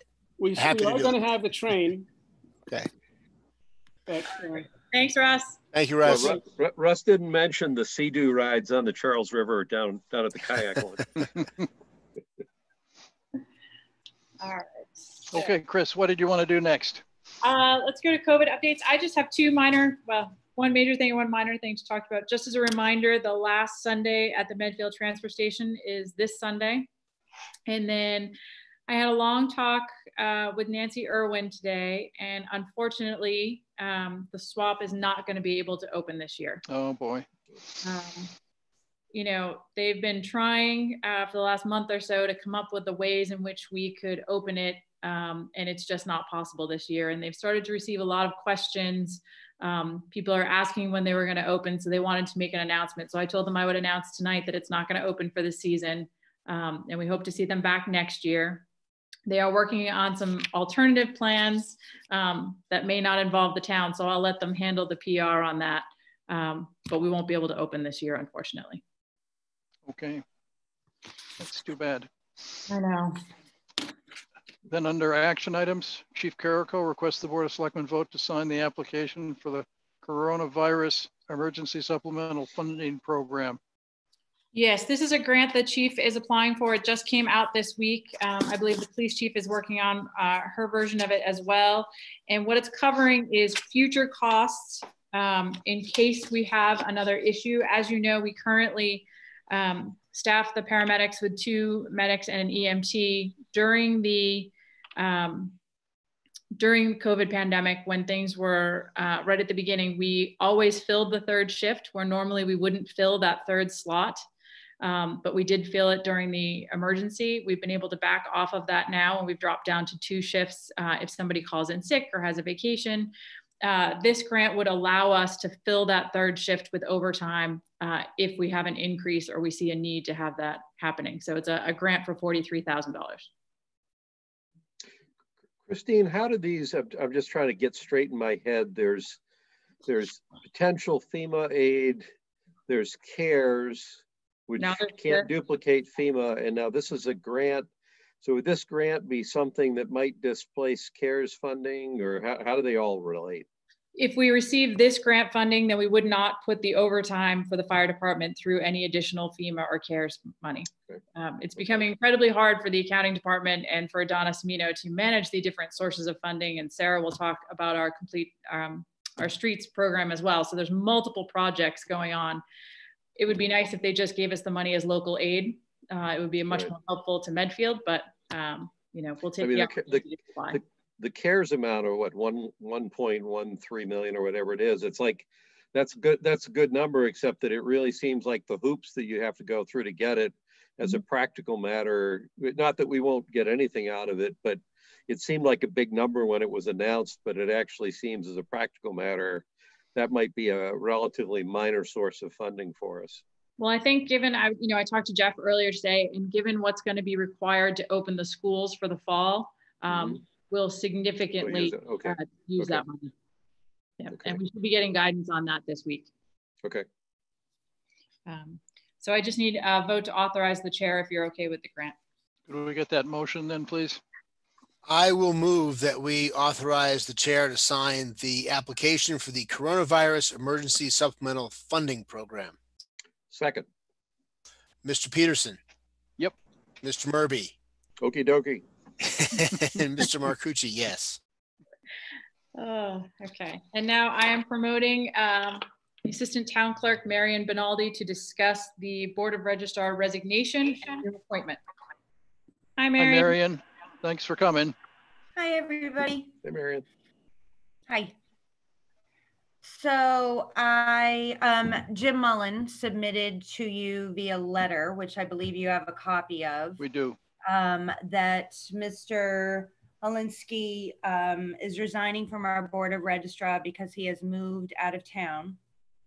So we wanted to accept his resignation and Jim also submitted a letter stating his recommendation for appointment to the Board of Registrar, which is Donna Young, who's here in Medfield.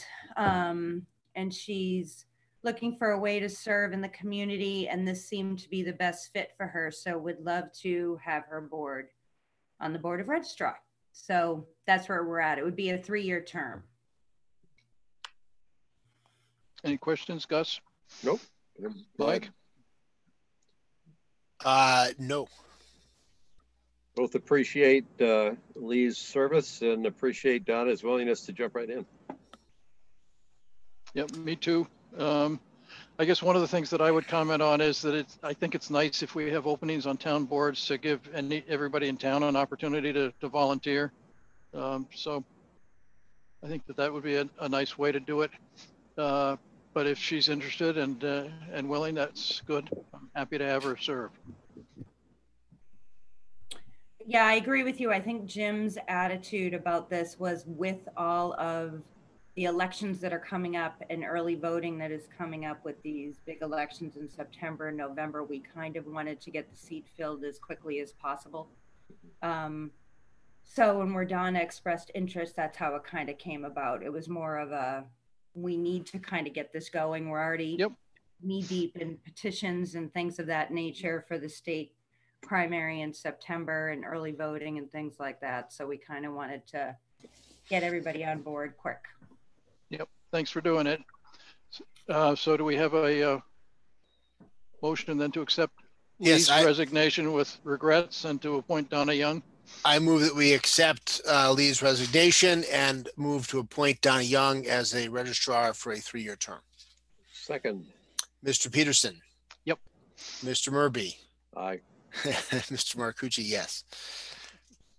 Thank you. Marion. Thanks, Mary. Thanks, Marion.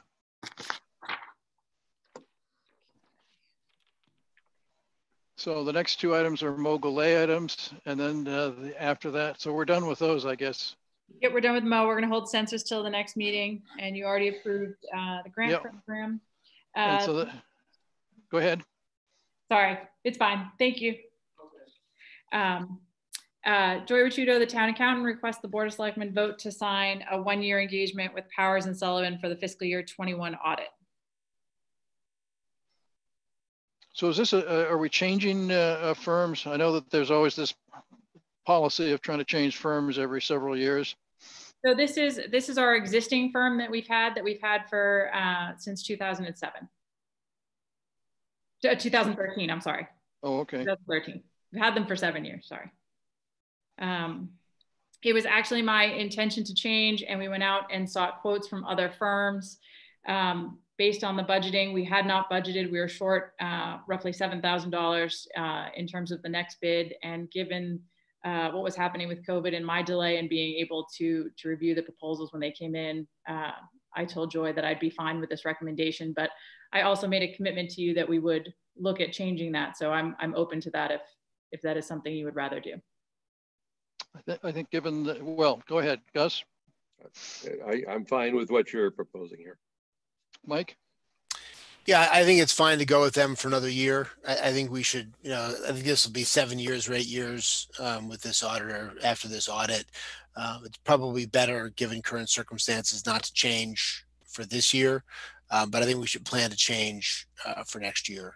Um, and just as part of a normal rotation, I think seven or eight years is a pretty good, pretty good run with one auditing firm, and that would give us some time and and to budget what we need to budget. And I suspect we probably could get a competitive auditing firm um, to come in about the same level as as Powers and Sullivan for next year as well. So Agreed. And I think if we uh, go out to bid sooner rather than later, uh, we'll be able to budget for that and give the other firms a chance to actually respond to our bid and get in place.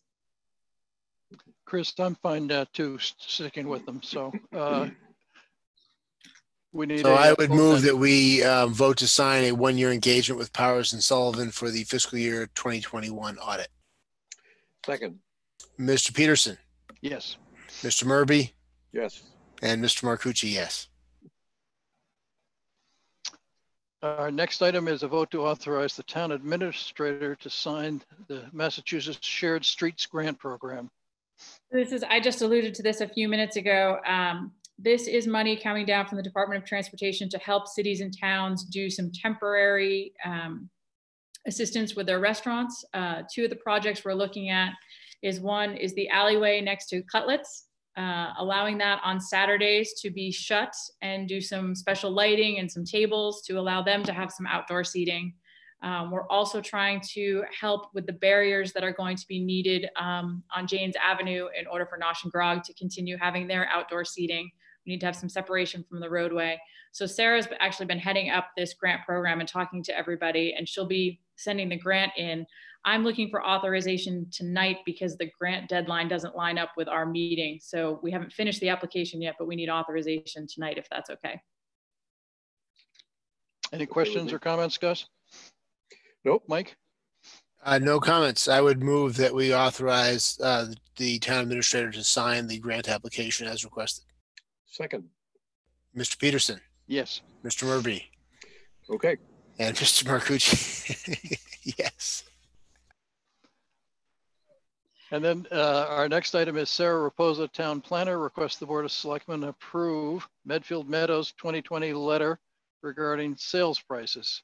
Yeah. I'm sorry. Actually, I just realized Sarah's on here. Let me promote Sarah. I should have let her speak for the other one. I'm sorry. Hold on one sec. Now we'll find out if you got it right, Chris.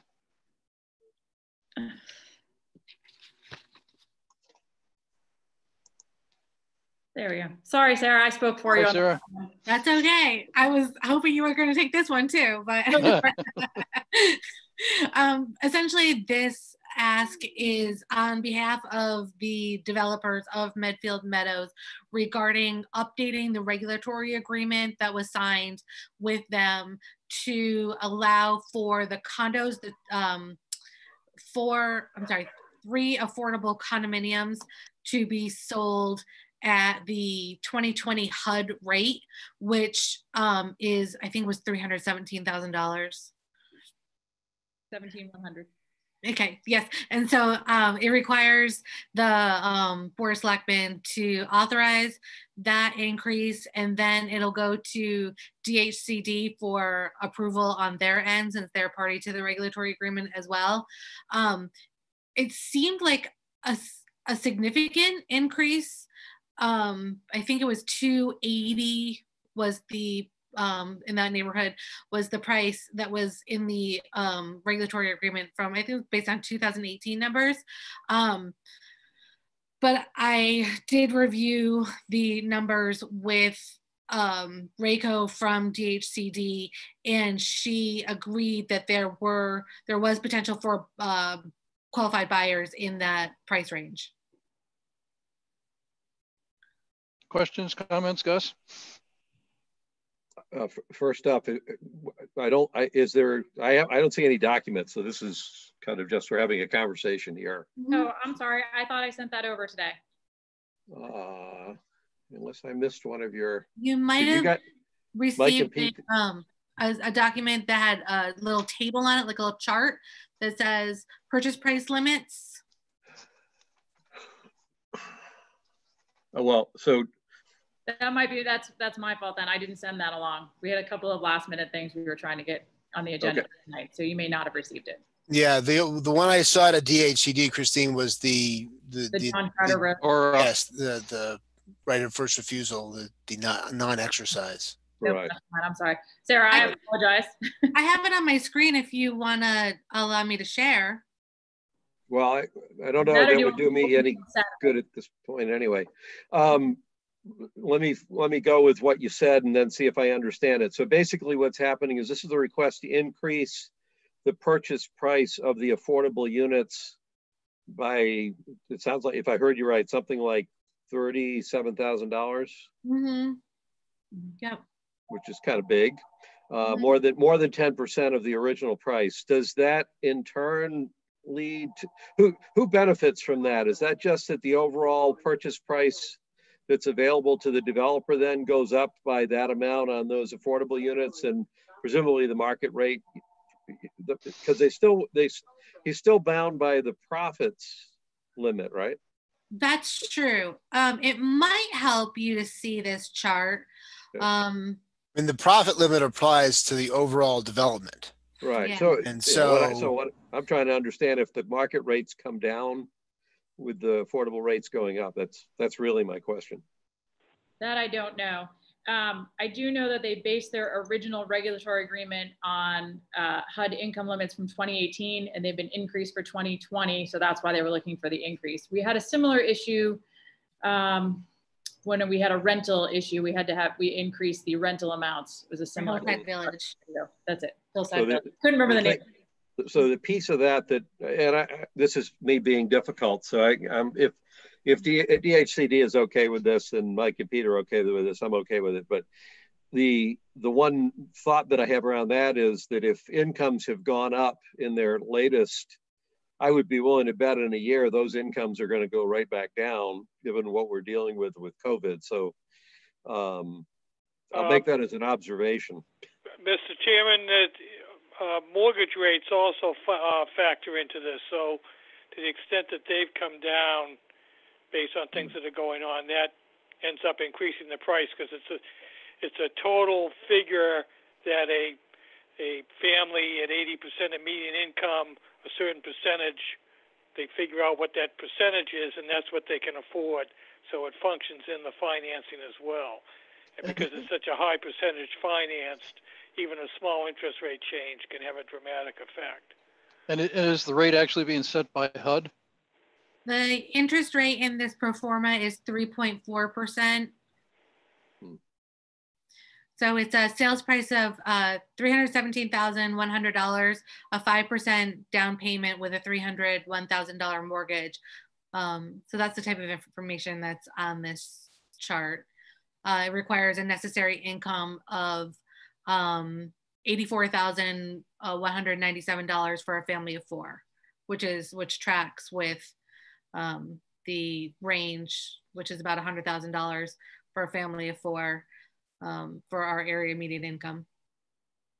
So, so Sarah, let me try running at it a slightly different way. If I heard you right, DHCD is okay with this change. Mhm. Okay.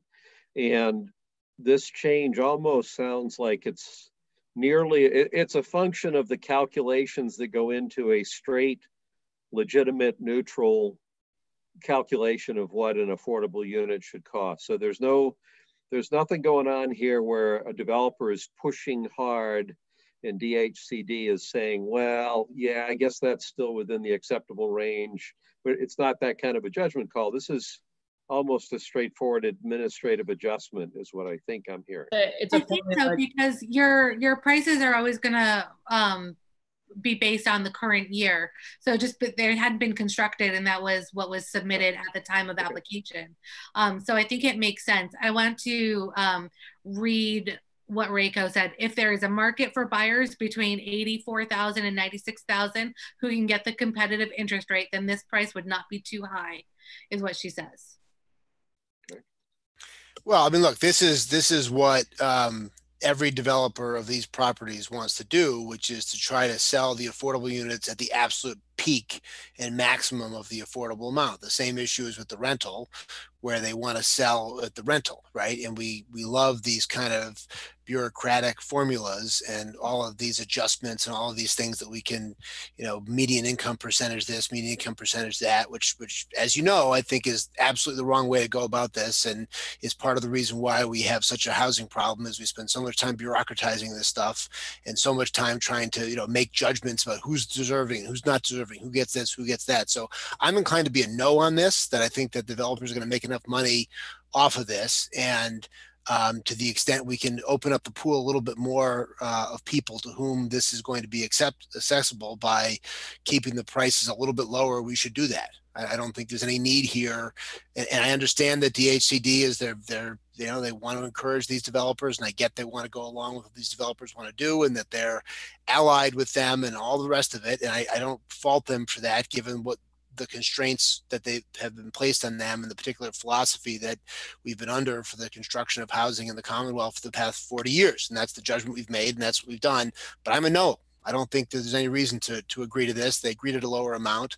I don't think there's any, you know, manipulation of home prices based on flooding the market with cheaper loans aside, um, the actual amount that people can afford based on what they're making, not just what they can finance, um, is not going up. Um, and it's certainly not going up for people who are lower on the income level as opposed to higher. And so the people who are going to be profiting over those government subsidized cheap loans are doing better than the people who are taking out those loans. And so I'd rather the houses go to people, and even if they have to, to borrow a little bit less, that's okay too. Uh, there's no requirement that we force people to borrow the absolute maximum here to do this and the rest. So I'm a no. So, So, Mike, sir, can I, can oh, I? go ahead. can I counter, this is, this is uh, in the interest of the discussion, because I'm, I'm new, I'm neutral on this, but the one point, counterpoint I'd make to your point, Mike, is that um, on one hand, we're building affordable housing so that people can afford, you know, be able to afford to move in here. And that's, that's a good thing. And it sounds like this adjustment still fits within the target range of what people who should get affordable housing should get the affordable units in a development like this are affordable because the reduced price that the builder, the developer accepts from the affordable units is added on to the market rate units. Uh, and given that the market, given that the developer is constrained on how much money the developer can make. So in other words, if this, I'm, I'm making an assumption here that this adjustment does not create a windfall for the developer. What it does is it, it brings the market rate unit prices down so that people aren't paying a premium above and beyond what they might otherwise pay for those market rate units. So to the extent that that, that subsidy is a smaller, smaller distance because the people that buy the market rate units are the ones who absorb that subsidy, I can see an argument for going along with this so long as it's not a windfall to the developer. So I, I'm, not, I'm not hard up either way. Just, just a couple of points. The market rate are going to sell for what the market is.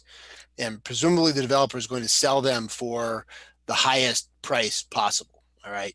Um, the reality of this, and you know, I don't know what the statistics are on how tightly um, the Commonwealth of Massachusetts regulates that 20% profit, how often actions are brought against developers who violate the 25, 20% profit rule, and how heavily that's investigated. It may well be um, that our Attorney General's office and the other people who are responsible for doing this investigate very heavily these developments and really make sure that the developers are capped at 20% and spend a lot of their time making sure that they don't exceed that 20%. So I'm not going to make any comment whatsoever on how often that happens. Um, I will say in this particular instance, I don't think we can ignore the fact that the construction company that is building this development is affiliated with the owner of the development.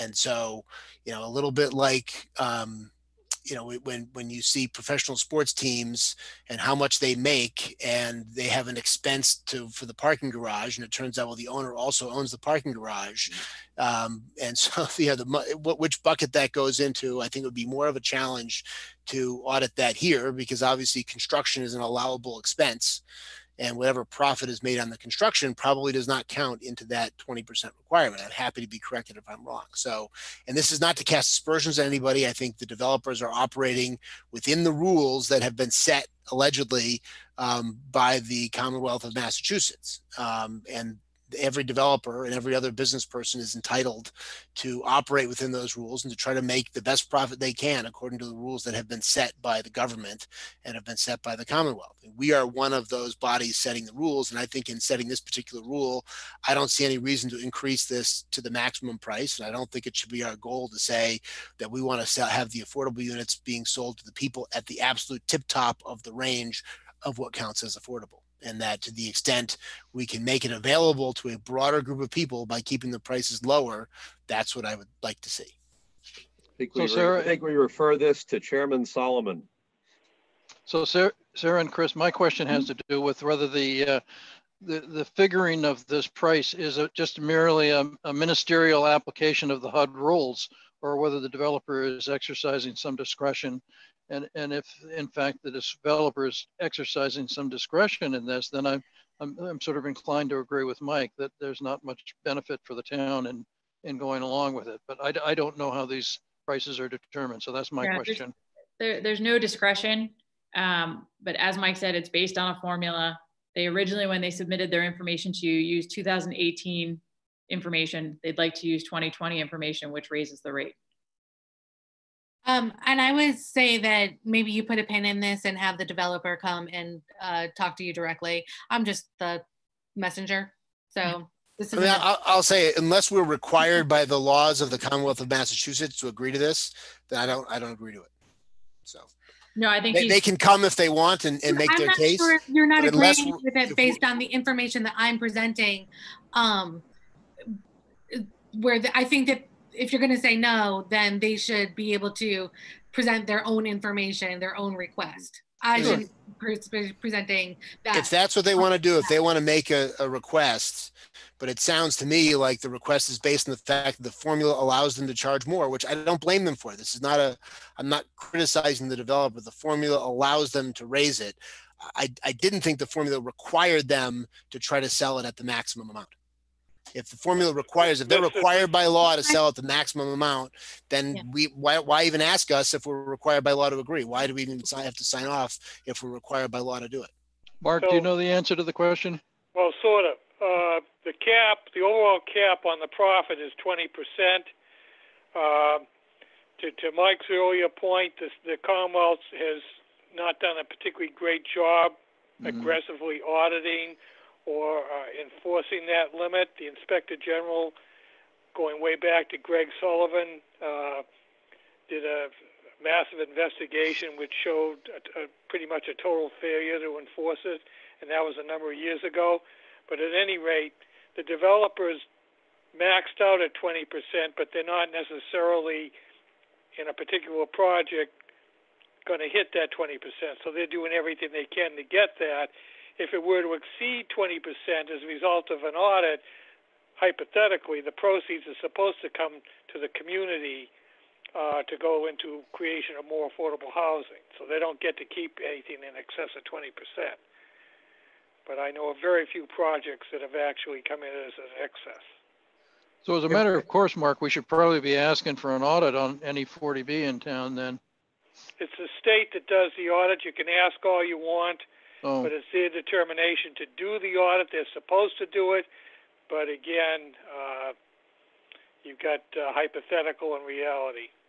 mhm. Hey, hey, Mark, is just one other question on this. Is, is the prac, i- i- is the practice of coming up with this initial estimate, in this case, using 2018 numbers, is it just common practice that that is a pro forma estimate that's made early in the process because it has to be? And that almost as a routine practice, developers will then update that estimate to, to map onto the information for the year that the, the development's actually coming online? I mean, you can't, you don't know what that information is going to be when you first put things together. I've just, are we Well, it's looking at gone both ways in the past, so uh, presumably if they can sell them for more, they're going to come in. Uh, if, So if, they- it, if, if they somehow or other were already authorized to sell for, for more and it dropped down, Got it. uh, if you've got somebody aggressive overseeing your your administration of your housing, they may pick it up and, and basically say, no, you've got to set a lower rate. But Okay, so, so it's not routine, it's not just a standard routine adjustment that gets made that we're turning into a big issue. it's it's you know it's it's a combination of everything that's been said, and it certainly is a factor of uh, what's the most that they, they can be authorized to uh, uh, Okay. to sell it. Had you know, uh, but again, at least hypothetically, had it dropped, had the market gone the other condi- way because interest rates went up or whatever, Mhm. uh, and, the, and the maximum price was lower, uh, presumably that would have been taken into account too. So it's just getting current as they're getting ready to market, particularly with a project that's taken a while to come online.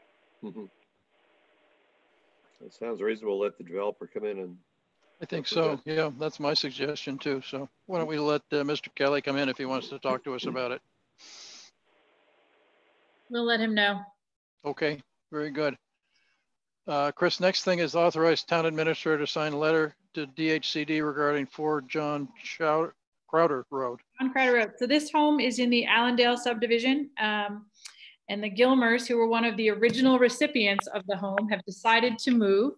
Um, they raised their family there. Um, and now their daughter has built a house in a neighboring town and they are going to move in with her. Um, so DHCD has set the purchase price at 282,920, which is based on Hmm. the formula in the deed rider. Um, and we are going to, it's a three bedroom, two bathroom home, and we're going to have a lottery if you agree that we don't want to purchase the home ourselves, which I would not recommend at this point. Does that, does the lottery favor Medfield people? Uh, so we can apply for preference, but usually on a resale, preference is not considered. Uh, it was when the initial lottery was done, but we, okay. we can ask for it. Um, there will be a preference for uh, families since it's a three bedroom, and we haven't had a three bedroom come up in Allendale in a while. Um, it's probably been a good 10 years. So uh, we expect, in fact, I already started to get some calls today. So we expect uh, an incredible amount of interest in this home.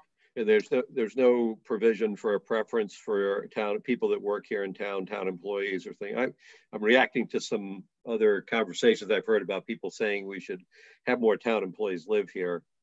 There's Not no on way to, the- Yeah, not on the resale. We did when we first sold them um, approximately 30 years ago.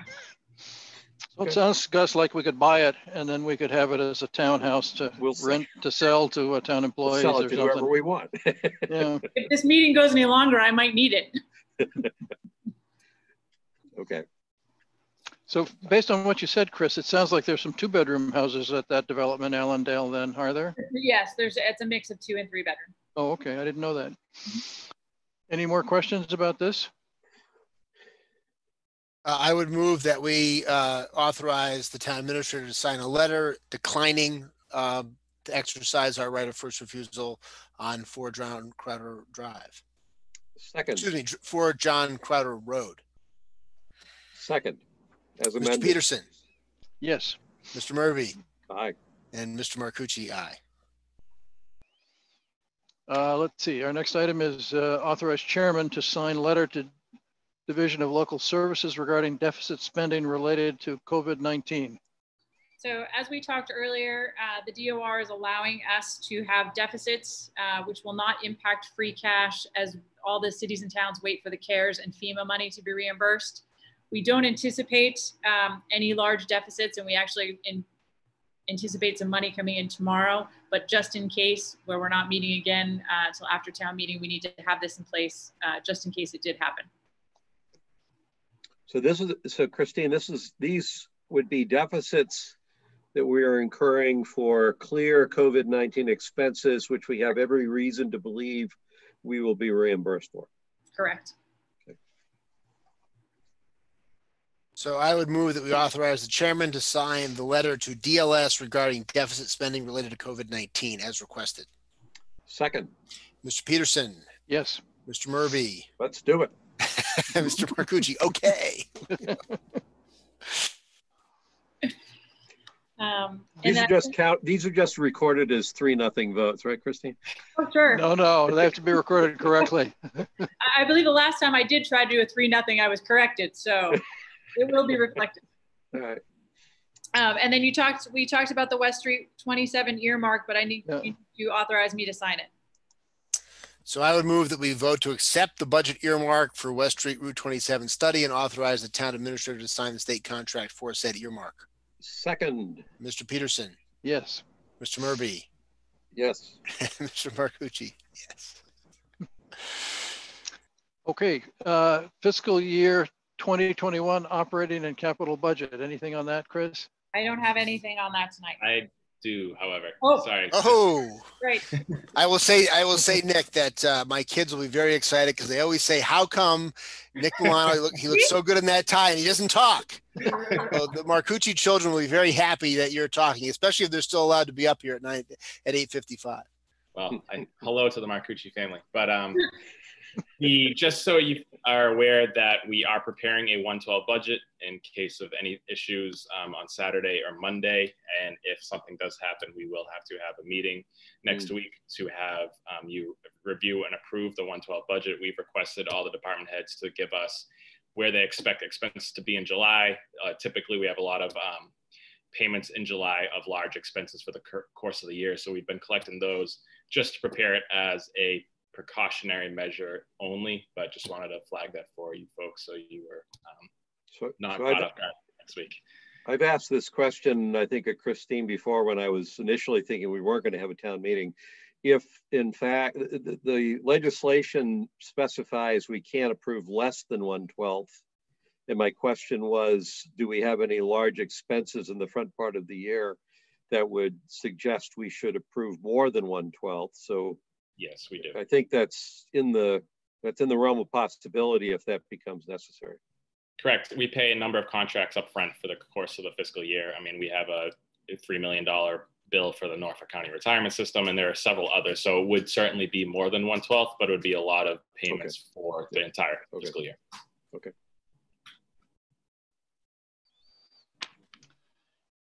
And the next thing is the uh, 2020 annual town meeting and warrant articles, and I think those are all set.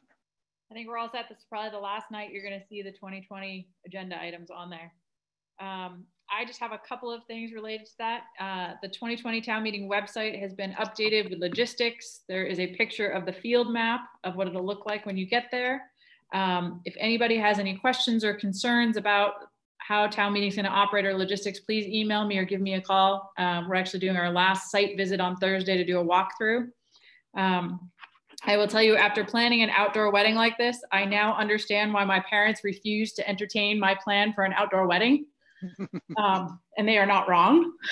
I will call and apologize to my father this evening. Um, other than that, you're going to meet at 10:30 on Saturday, um, and we're ready to go. I only have one question on the diagram, Christine. What are delay speakers? So when you have, uh, Chris Allen explained this to me, when you have a venue like that, you have to put speakers um, halfway back so that everybody gets the sound at the same time. Uh, okay. Yeah. Got it. So wh- where are the selectmen meeting? We're going to meet right on the field. We, we have special seating, Mark. I'll, I'll go over it with you when I call you tomorrow. Okay. We're all at individual desks. Um, and I, I, Christine, I would just say if, apart from the logistics, if people haven't, and Gus had offered uh, last week, if anyone who was not going to be able to make it to the meeting for whatever reason had a position they wanted to be stated, he offered that he would convey those that position mm-hmm. um, at the meeting. And I would say, to, you know, to the extent that people have any questions about any of the warrant articles, any of the budget items, um, anything that's come up, I would say I'm sure you could email any of us, um, Gus, Peter, myself, or Christine or Nick. Um, and we have a town meeting page. And I think if we do get questions, um, assuming they're not, not of a confidential variety, I mean, maybe we can just sort of post any questions we get with the answers up to the town meeting uh, page, kind of as as they come in. If people have, you know, want to know about this line item or that line item, or what, what's this about, we could respond to the email and then sort of just put up without identifying who asked the question. Here's a question that came in, just so um, that information gets out there and people I don't want anyone on Saturday either for health concerns or because of the heat or, or to feel reticent to ask a question. I mean, obviously, we're going to have a town meeting. It's going to be a real town meeting. I think that the moderator has made it clear that he'd like it to be as efficient as possible um, so that everybody's safe and that um, it's not, but, but it's still going to be a town meeting. And so, to the extent people have questions, email one of us. Our email addresses are all on the website. Email Christine or Nick, and then if, if those questions come in, we can post and I know we're going to put some info sheets together and whatnot, but we'll be posting things as well on the uh, on that FAQ page or on the town meeting page, um, so um, other people can get the benefit of that. I'll actually I will add everybody's email address onto that town meeting page. So they just have to go to one spot to do that. Right. Um, and if you look, there is a listing of all the warrant articles and any background material or anything that we've done along the way for people who want to get more educated about a specific warrant article, more than we could put in the full warrant report. I saw that. I thought that we've we've been doing that for the last several town meetings. I think it's a great way to do it um, for people who want to read into it more. But but please email us, email Christine or Nick, and and we'll answer your questions and, and make it available um, in advance of Saturday.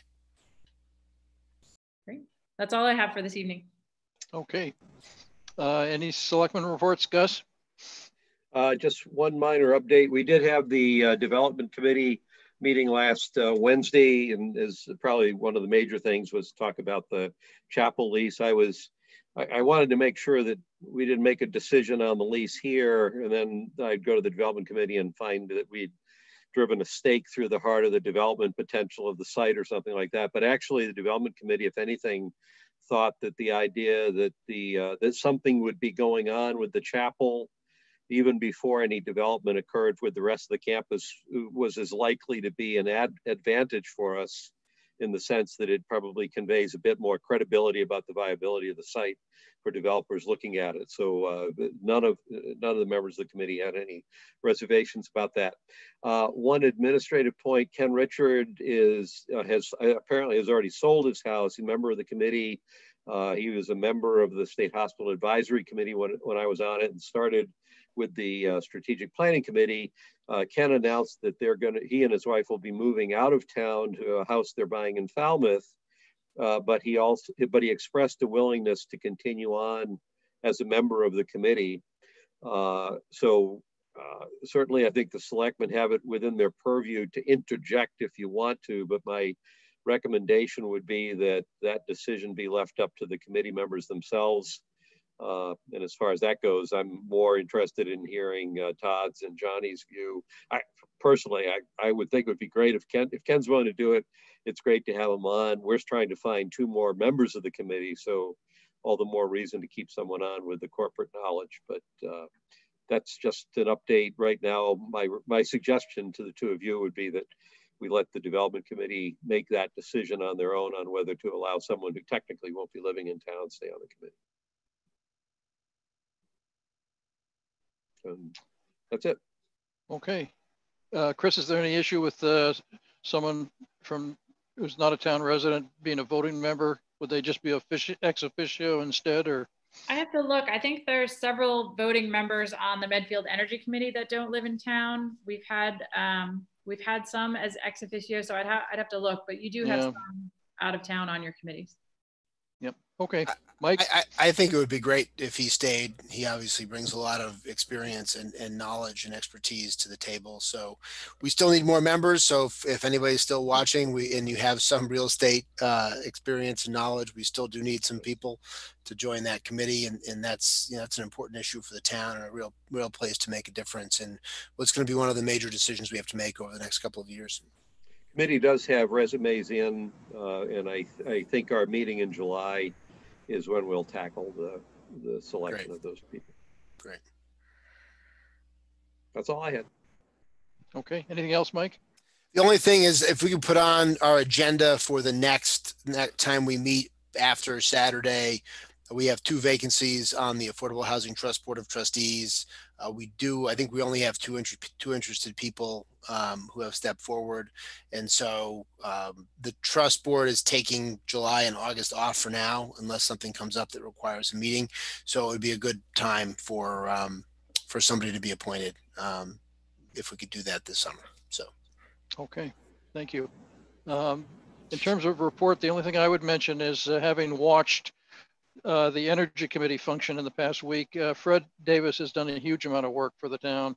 Um, the uh, Green Communities grant, I think, was probably due um, on Friday last week because there seemed to be a huge culmination of effort to, to try to work with the uh, town officials and get something done. So I just I, I just watched it from afar as a, a member of the committee, but I did see a lot of emails flying and appreciated the work that Fred was doing.